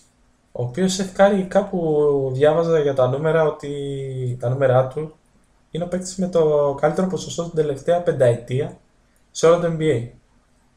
46% είναι πάνω από τον αδελφό του. Εντάξει, με πολύ μικρότερο volume προφανώς, αλλά Ναι. ναι, αλλά ναι είναι, είναι μια χαρά παίχτης για το, το NBA. Και γενικά θα έχει πολύ ενδιαφέρον το, το όλο project. Σίγουρα ακόμα η σεζόν η επόμενη θα είναι σεζόν χτισήματος, θα είναι και η πρώτη χρ- χρονιά που θα δούμε τον Μπορζέγκης με τη φανέλα των Mavericks, αφού πέρσι δεν έπαιξε καθόλου. Ο Ρικ Καρλάιν παραμένει ο αιώνιος προπονητής των Mavericks Ναι. που έχει το know-how, έχει φέρει ένα Παραμένει και, πρωτάθλημα. και ένας από τους καλύτερους προπονητές στο NBA, σταθερά. Και νομίζω ότι θα δούμε πάρα πολύ ωραία πραγματάκια. Βάλτε την και αυτήν, άμα όποτε την πε- πετυχαίνει το παιχνίδι το Mavericks, μην αλλάξετε κανάλι. Με την μην κλείσετε το ερώτηση, stream. με την ερώτηση όμως να μένει, πώς θα είναι η πρώτη χρονιά χωρίς τον Οβίτσκι Γιώργο; Δεν νομίζω να είναι χωρίς τον Νοβίτσκι, κάπου εκεί θα είναι. Δεν θα είναι αγωνιστικά, αλλά σίγουρα Το πνεύμα του θα θεωρείται πάνω από το... το, το πνεύμα του ο Επίπεδο. ίδιος στάνταρ θα είναι κάπου. Δηλαδή μπορεί να, έχει, να κάνει και τίποτα παρόμοιο με αυτό που έκανε ο Tim Duncan φέτος. Θα το, θα το πούμε πιο μετά για τον Duncan. Γιατί όχι. Εκεί πέρα είναι, η πόλη του είναι, η ομάδα του είναι. Ουσιαστικά πέρα μετά τον Mark Cuban είναι ο πιο ισχυρός άνθρωπος στο, στον Dallas. Μα άμα θέλει μπορεί να μείνει και να, να πάρει από δίπλα του τον, τον Kristaps, να το δουλέψει. Εντάξει, μπορεί να μην είναι στο, στο παρκέ, αν και θα έχει άλλη, άλλο ενδιαφέρον να ήταν και εκείνο στο παρκέ. Αλλά σίγουρα θα έχει σημαντικό ρόλο στην επόμενη μέρα. Είμαι, είμαι 150% σίγουρος. Και πάμε στους Pelicans. Ένα πάρα πολύ ενδιαφέρον ε, franchise το οποίο είχε την ε, τύχη να κερδίσει το, η λοταρία του draft και στην ουσία το νούμερο 1 και τον ε, Zion Williams. Williamson. Κάνανε την, ε, την τύχη τους από πουθενά. Κάποιος θα έλεγε, κάποιος συνωμοσιολόγος, όχι εγώ, ότι είναι πολύ βολικό το timing του, του να τύχουν το νούμερο 1 μαζί με την ε, περίοδο που ο Άντωνι Ντέιβις είχε ζητήσει trade. Και μαζί με την περίοδο που σου είπα πριν με, περί αβεβαιότητας του franchise. Δηλαδή Ναι, είναι μία από αυτές- βολευτήκαν όλοι. Όλοι χαρούμενοι, όπως ε, πήρε το, το Cleveland τον, ε, τον Irving, ε, το Chicago το Rose, ε, τυχαίες συμπτώσεις της ζωής που ίσως να μην είναι τόσο τυχαίες. Προς Θεού δεν λέμε ότι είναι rigged, αλλά Και μαζί με αυτή τη τυχαία επιλογή στο νούμερο 1 πήραν και, την, και τους μισούς Lakers. Πήραν και τους μισούς Lakers, αυτό θα σου λέγω. εγώ. Ναι, πήραν το εισερχόμενο ταλέντο από τους, ε, Lakers, Brandon Ingram, Ingram Josh Lonzo Hart και Lonzo Ball, τα είπαμε και πριν. Φέρανε, τον, ε, φέρανε και τον JJ Reddick. Επική προσθήκη. Γεμίσανε, από γεμίσανε το πουθενά. Duke. Έχουνε Zion, Jalil Okafor, JJ Reddick, Brandon Ingram και Frank Jackson. Πέντε πρώην ε, Blue Devils. Δεν ξέρω αν είναι τυχαία. Το πιο πιθανό. Από τον ένα μέτρο προπονητή στον άλλον. από τον Σιζέφσκι στο, Κακίες, κακίες. στο Γκέντρι. Αλλά και γεμίσανε, γεμίσανε. Πήρανε τέσσερα, τέσσερα pick στον draft τα τρία πρώτου γύρου. Πέρα από τον Zion πήραν τον, τον Jaxson Hayes στο 5, πάρα πολύ καλή κίνηση με το νούμερο 8. Πήραν τον Alexander-Walker στο 17 και τον, Επίσης νομίζω στο Μουντομπάσκετ με τον Καναδά. και τον Marco Silva στο 35. Τα τρία pick από τους Hawks. Ε, από τα τέσσερα.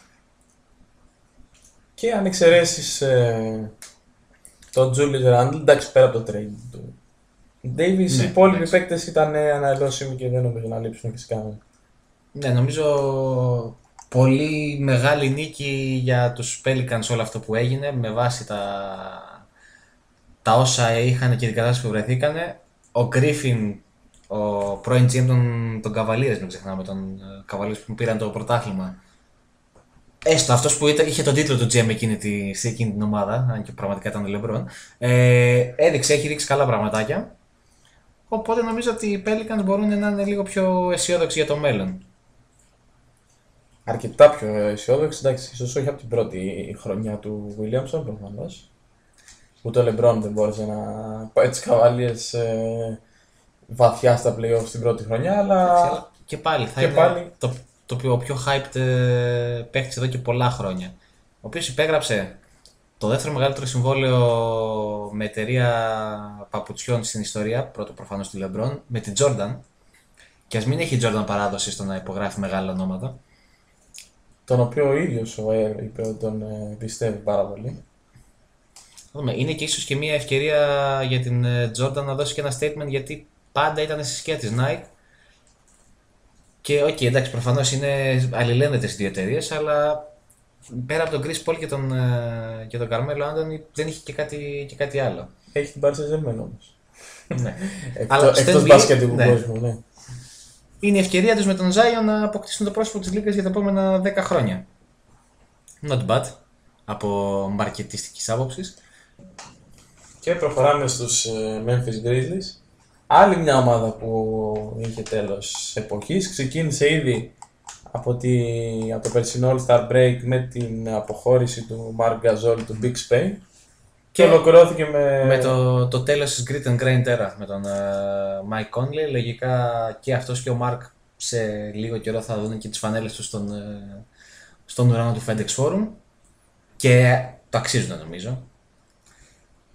Και τώρα το Memphis πάει για μεταβατική περίοδο, πήρε τον Iguodala μέχρι να τον διώξει τον Dwight Howard. μέχρι να τον διώξει. Ε, και πήρε τον Grayson Allen, στοίχημα κι αυτός, ένας παίκτης ο οποίος άμα αποφασίζει να, να φερθεί σαν την ηλικία του και όχι σαν 14χρονο κακοβαθμένο παιδί μπορεί να, να κάνει και καριέρα στο NBA. Τώρα τις προάλλες στη Summer League ε, τον, ε, τον αποβάλανε γιατί έσπροχνε εκτός φάσης τους αντιπάλους του. Ε, πράγματα που δεν βλέπεις ούτε στα προμήνυ. Δηλαδή είναι... δεν θυμάμαι άλλον παίχτη τόσο ανώριμο πνευματικά πέρα από τον Grayson Allen. Πα- α- παρένθεση αχρίαστη, αλλά πρέπει να το, να το βγάλω από Ήθελες να μέσα. βγάλεις την πίκρα σου. Ναι. Ναι, δηλαδή είναι πεταμένο ταλέντο. Γενικά νομίζω θα είναι ένα από τα χειρότερα roster του φετινού NBA με σοβαρές πιθανότητες να τερματίσει τελευταίο. Εντάξει, χειρότερα από, το Σάλο- από τη Σάρλοντ δεν νομίζω. Εντάξει, ναι. Έχει τον ε, JJJ, έχει τον ε, Jam Morant. Ούτε το νούμερο 2 του φετινού draft. Δηλαδή εντάξει, έχει τον, ε, τον Grayson Allen, έχει το στοίχημα τον Josh Jackson, έχει πραγματάκια να δεις. Πήρε τον ε, Tyus Jones από τους ε, Timberwolves, δεν του πεταματού, δεν είναι κάτι φοβερό, αλλά έχει ένα roster το οποίο έχει μεμονωμένα περιπτώσεις που αξίζει να παρακολουθήσεις. Και ο Jaren Jackson έκανε πέρσι μια σεζόν η οποία ήταν πολύ underrated.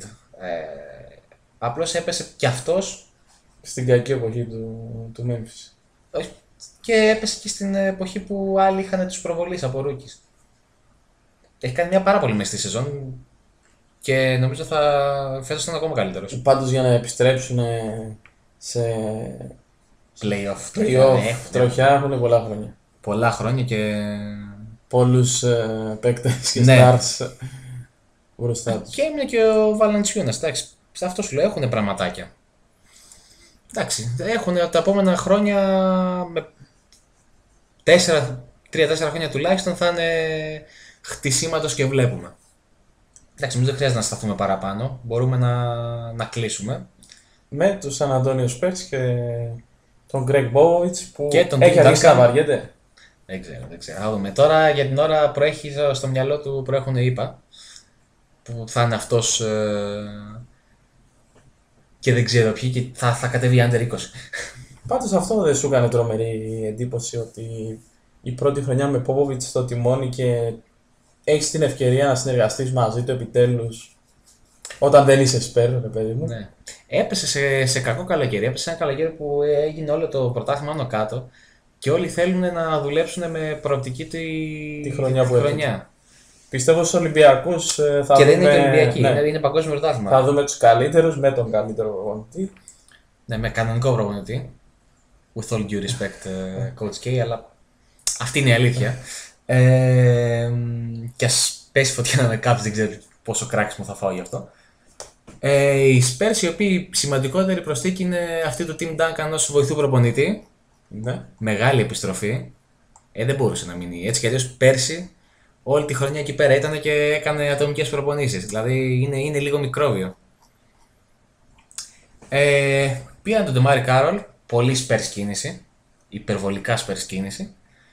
Ε, πήραν τον ε, Trey Lyles. Κάνουν στον draft αυτό που, αυτό που σου έλεγα στο προηγούμενο, στο επεισόδιο της Ανατολής. Με το νούμερο 19 πήραν τον Λούκα Σάμανιτς. Out of nowhere.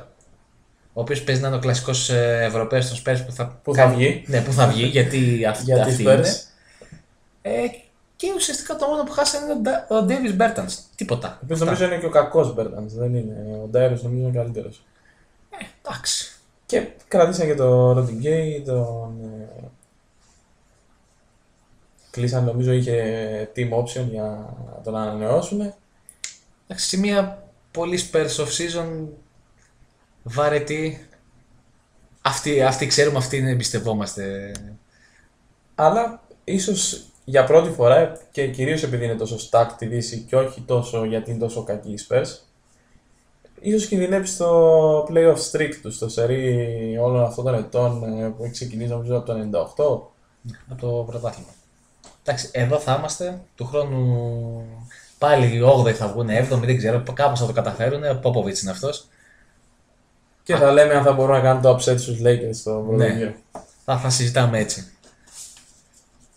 Και κάπως έτσι κλείνουμε. Κάπως Δεν ξέρω αν έτσι έχεις κάτι να πεις για τους Spurs. κλείνουμε για τους Spurs. Λίγο κάποια γενικά σχόλια που έχω κρατήσει εδώ για την ε, Δύση. Η χρονιά θα είναι εντελώς απρόβλεπτη, πιστεύω. Δεν γίνεται να βγει σε όλες αυτές τις ομάδες το, το νέο πρόσωπό τους και όλα να είναι μια χαρά και να φτάσουμε στα play-off τι ώρα και καλά και να δούμε και τετράδα Warriors, Rockets ε, και το ίδιο του Los Angeles. Κάποιοι ή κα, κάποιος, κάποιοι, δεν ξέρω πώς, από όλους αυτούς θα έχουν πολύ δράμα μέσα στη σεζόν. Θα δούμε, θα δούμε. Ε, νομίζω Με τους Rockets να βάζουν προφανώς υποψηφιότητα για νούμερο ένα. και άμα δεν έρθει από αυτούς. Αν δεν έρθει από αυτούς, ε, στους Clippers θεωρώ με το χαρακτήρα που έχουν οι δύο Αδύνατο. συγκεκριμένοι superstar αδύνατο. Στους Lakers. Lakers. πιστεύω ότι ο LeBron έχει πλέον την πασχετική, αθλητική και αν δεις και ανθρώπινη σοφία να κάνει ένα βήμα πίσω πλέον. Ε, Επομένως, πού; Επομένως στους Warriors, ίσως ήρθε η ώρα να τελειώσει αυτή η δυναστεία. Δεν ξέρω, είναι πολύ καλά παιδιά όλοι τους για να γίνει. να μην τα βρούνε. Εκτός και άμα ο Ντίλο έχει άλλες ε, απόψεις. Εντάξει, οι Warriors και να, να μην κάνουν μια καλή σεζόν δεν θα χαθεί και ο κόσμος. Δηλαδή και τέταρτη να βγουν να αποκλειστούν στο δεύτερο γύρο. δεν τους νοιάζει. Και δεν είναι, κακό το, δεν είναι καλό το timing γιατί πλέον ε, ε, αλλάξανε, πήγαν από το Oakland στο Σαν Φρανσίσκο και μ, θα θέλανε την καινούργια arena να την ε, εγκαινιάσουν μια καλή σεζόν. Αλλά οκ, αυτά δεν, δεν μπορείς να τα προγραμματίσεις. Από εκεί και πέρα ίσως δούμε ομάδες που ήταν ένα βήμα πιο πίσω πέρυσι να ανεβαίνουν όπως είναι οι Blazers, οι Pelicans εννοείται του Zion και οι Dallas Mavericks. Γενικά η Δύση έχει πάρα πολλές ομάδες οι οποίες είναι, θα είναι fun to watch και θα είναι ανεξάρτητα από το αποτέλεσμα ομάδες που θα, μπο- θα έχουν θέαμα για να δεις και θα αξίζουν να τις δεις. Να ξενυχτήσεις για να τις δεις. Πάντως αν σκεφτείς ότι η μία τετράδα, οκ, την είπαμε, Rockets, Warriors και οι δύο του Los Angeles, αυτοί θα είναι λογικά οι τέσσερις πρώτοι στην ε, κανονική περίοδο. Από εκεί και πέρα πίσω τους έχεις Nuggets, Spurs, Blazers, Pelicans, Mavericks, ε, ακόμα, ακόμα και τους ε, Timberwolves. Δηλαδή κάποιοι από όλες αυτές τις καλές ομάδες δεν θα είναι στα playoff. Ξέχασες τους Jazz οι οποίοι θα είναι το Και νούμερο τους 5. Jazz εννοείται, ναι. Σωστός. Οπότε ουσιαστικά παίζουν, δεν ξέρω, ίσως μπορώ να καταλήξω και σε 8 ομάδες. Θα είναι οι 4, θα είναι οι, οι Jazz, οι Blazers, οι Nuggets και οι Spurs. Μια χαρά βγαίνει. Και αν μπορείς να πεις... Να τις Spurs. Να Πώς τις πες, μπαίνουνε. όχι. Αν μπορείς να πεις για σάπιες ομάδες, είναι στην ουσία μόνο τρεις. Είναι οι Suns, οι Kings και οι Grizzlies. Ναι. Εντάξει, και είναι διαφορετικά επίπεδα εντός εισαγωγικών της Σαπίλας. σαπίλας. Ναι. Ναι. Οι, οι Suns είναι στο, στο, στο dead end που δεν ξέρουν τι, τι θα κάνουν, που πατάνε και που βρίσκονται. Οι Kings είναι σε... Είναι οι Kings. ναι, δεν, δεν, δεν ορίζεται αυτό το πράγμα που είναι οι Kings. Τους ε, συμπαθάμε όμως, το, το ξαναλέμε. Και οι Grizzlies είναι σε ένα φυσιολογικό κύκλο των πραγμάτων. Ναι. Αλλάζουν εποχή και λογικά επειδή είναι και μια ομάδα που πάντα είχε πλάνο, θα συνεχίσει με αυτό το πλάνο και στην, ε, στην πορεία της. Και είναι και οι Thunder που είναι κάπου ανάμεσα στη σαπίλα και στο οριακά ομάδα πλοίο. Ναι. Ανάλογα εντάξει, οι Thunder λογικά θα αλλάξουν δραματικά όσο περνάει η σεζόν γιατί πιθανώς να φύγει και ο Γκαλινάρη, πιθανώς να φύγει και ο Πολ. ε, Είναι πάρα πολύ υποψήφοι για το overhaul. Αν όμως έδινες ε, τώρα, όπως μιλάμε, σήμερα 26 Ιουλίου προς 27 πλέον, ε, τον νικητή της δικής περιφέρειας, τουλάχιστον στην ε, regular, Τι λέει το μυαλό μου, τι λέει η καρδιά. και τα δύο θέλω να ακούσω, και αν δεν σου παίρνουμε και για πώς βλέπεις να εξελίσσονται τα franchise μέσα στα playoffs. Αν θα αλλάξει, δηλαδή, αν στη regular κάποιες ομάδες θεωρείς ότι θα τα δώσουν όλα ή θα Ναι. δώσουν περισσότερο. Θεωρώ ότι η Utah θα, θα χωθεί ανάμεσα στους τέσσερις ίσως και να, να τη, άμα τη βολέψουν και οι διασταυρώσεις να, να κυνηγήσει και έναν τελικό. Δεν ξέρω, μήπως οι δύο ομάδες του LA να πάνε από την μία πλευρά γιατί πο- πολλά γίνονται. Δεν ξέρεις πώς ε, μπορεί να καταλήξει η σεζόν. Η regular season είναι πάντα άλλο και με τον LeBron να ξεκουράζεται μπορούν κάλλιστα να αλλάξουν ισορροπίες. Αυτή είναι η εντύπωση έχω και εγώ, δηλαδή ότι οι Lakers θα κάνουν ένα βήμα πίσω. Προφανώς θα κυνηγήσουν το πλεονέκτημα έδρα τουλάχιστον για Ε, τον πρώτο γύρο. Δεν αποκλείω να έχουμε δύο τους Clippers, τρία τους Lakers. Γιατί και οι δύο ομάδες αυτή τη χρο... όσο περνάει η χρονιά θα ψάχνουν χαρακτήρα και θα ψάχνουν χημεία. Και στο ένα θα αφήσει τους Warriors δηλαδή. Η Jazz είναι έτοιμη. Η Jazz ουσιαστικά είναι η ομάδα η περσινή στην οποία προσθέτεις τις αναβαθμίσεις. Γιατί όχι να μην ε, πάνε πρώτοι; Η regular season πάντα είναι διαφορετική από, τις, ε, από τα playoffs και τις περισσότερες φορές δεν έχει και σημασία σε μεγάλο βαθμό. Ναι, άλλωστε το είδαμε πέρυσι και με τους Nuggets. Ναι. Οπότε, αλλά για ομάδες όπως οι Jazz, όπως οι Nuggets, είναι απαραίτητο να, να χτίσουν πάνω στην ε, regular season άμα θέλουν να έχουν κάποιες ελπίδες για κάποιο upset. Οπότε θα πω αυτό και θα πω ότι θα βγει στο τέλος θα βγουν οι Clippers. Και όχι ίσως να, να το κινεί το, το hate μου για τον LeBron, ίσως ε, το- επειδή θέλω να, οι Clippers να βγουν και από τις σκέτο Lakers για μια φορά. Και μιας και ολοκληρώνουμε γενικά με, το, με την off-season του NBA, Από την άλλη πλευρά θεωρείς ότι θα δούμε τους Bucks; Ε, πρώτο φαβορή νομίζω είναι οι Bucks. Δεύτερο οριακά, όχι πολύ μακριά πίσω τους οι Sixers. Και μετά βλέπουμε, τα άλλα είναι φλού. Οπότε ένας τελικός ε, Bucks, rap, ε, Raptors, Bucks ε, Clippers. Ένα έτσι, πώς το λένε, άτυπο, ε, άτυπη ρεβάνς του, του Γιάννη στο Λέοναρτ. Πολύ σωστό. Για το, Θα έχει για την ωραίο περσινή narrative. είδα. Και επειδή ξέρεις ότι μου αρέσει το drama, μια τελευταία ερώτηση που θα σου κάνω σαν NBA expert που είσαι. Περιμένεις μια αναπάντεχη καταστροφή στα μεγάλα franchise, επειδή να μην βγει αυτό που σου είπα πριν, να μην βγει τίποτα και να διαλυθεί το σύμπαν; Κοίτα, σίγουρα όπου μπαίνουν μεγάλα εγώ στη μέση όλα είναι ορολογική βόμβα. Ε, δεν θα σου κάτσουν πάντα. Σου λέω, περιμένω πολύ τους, ε, τους Rockets, όπως όλος ο κόσμος, δεν νομίζω να είμαι ο μόνος. Ε, περιμένω τον DeMarcus Cousins να γίνει DeMarcus Cousins και να τα τεινάξει όλα στον αέρα και στους Lakers, αν και όπου είναι ο βασιλικός νόμος είναι άλλοι, άλλοι κανόνες. Ακριβώς. Και στην ε, Ανατολή πε- περιμένω και τον. ε, θα, φα- θα είναι χα, τεστ χαρακτήρα για τον Embiid φέτος. Που δεν θα έχει και τον Butler, που θα είναι πάλι δικιά του ομάδα. Αν θα λυγίσει, θα πάει, κάνει το βήμα παραπάνω. Και προφανώς τα λέμε για εκρηκτικά πράγματα οποιαδήποτε ομάδα του Butler. Άρα και η Miami Heat. Έχουμε, έχουμε υποψήφιους. Και κάπως έτσι τελειώσαμε νομίζω. Ναι. Δεν ξέρω τι, δεν έχουμε κάτι άλλο να πούμε. Αυτό ήταν για NBA Off Season. Ανανεώνουμε το ραντεβού στα podcast. Λίγαν συντόμως. Λίγαν συντόμως. Καλώς εγώ το γραμμάτων με Premier League, με πρεμιέρα στην ε, Εντάξει, καλό το μπάσκετ, αλλά Αγγλία. ο Αύγουστος είναι μήνας που ξεκινάει το... ξεκινάνε τα καλά στο ποδόσφαιρο, οπότε πρέπει να αλλάξουμε λίγο το focus μας. Και μέχρι το επόμενο podcast, ξέρετε που να μας βρείτε, www.rabona.gr στο... στην ιστοσελίδα μας, facebook Rabona, Instagram, Twitter, Mixcloud για τα podcast και YouTube για τα podcast. Τα οποία podcast θα συνεχίζουν να έρχονται, ήταν μόνο η αρχή η NBA Off Season. Ήταν ένα καλό έτσι kickstarting αυτής της όλης ε, προσπάθειας.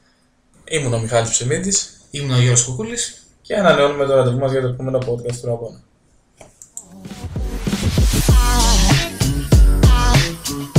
There goes a sight from my soul.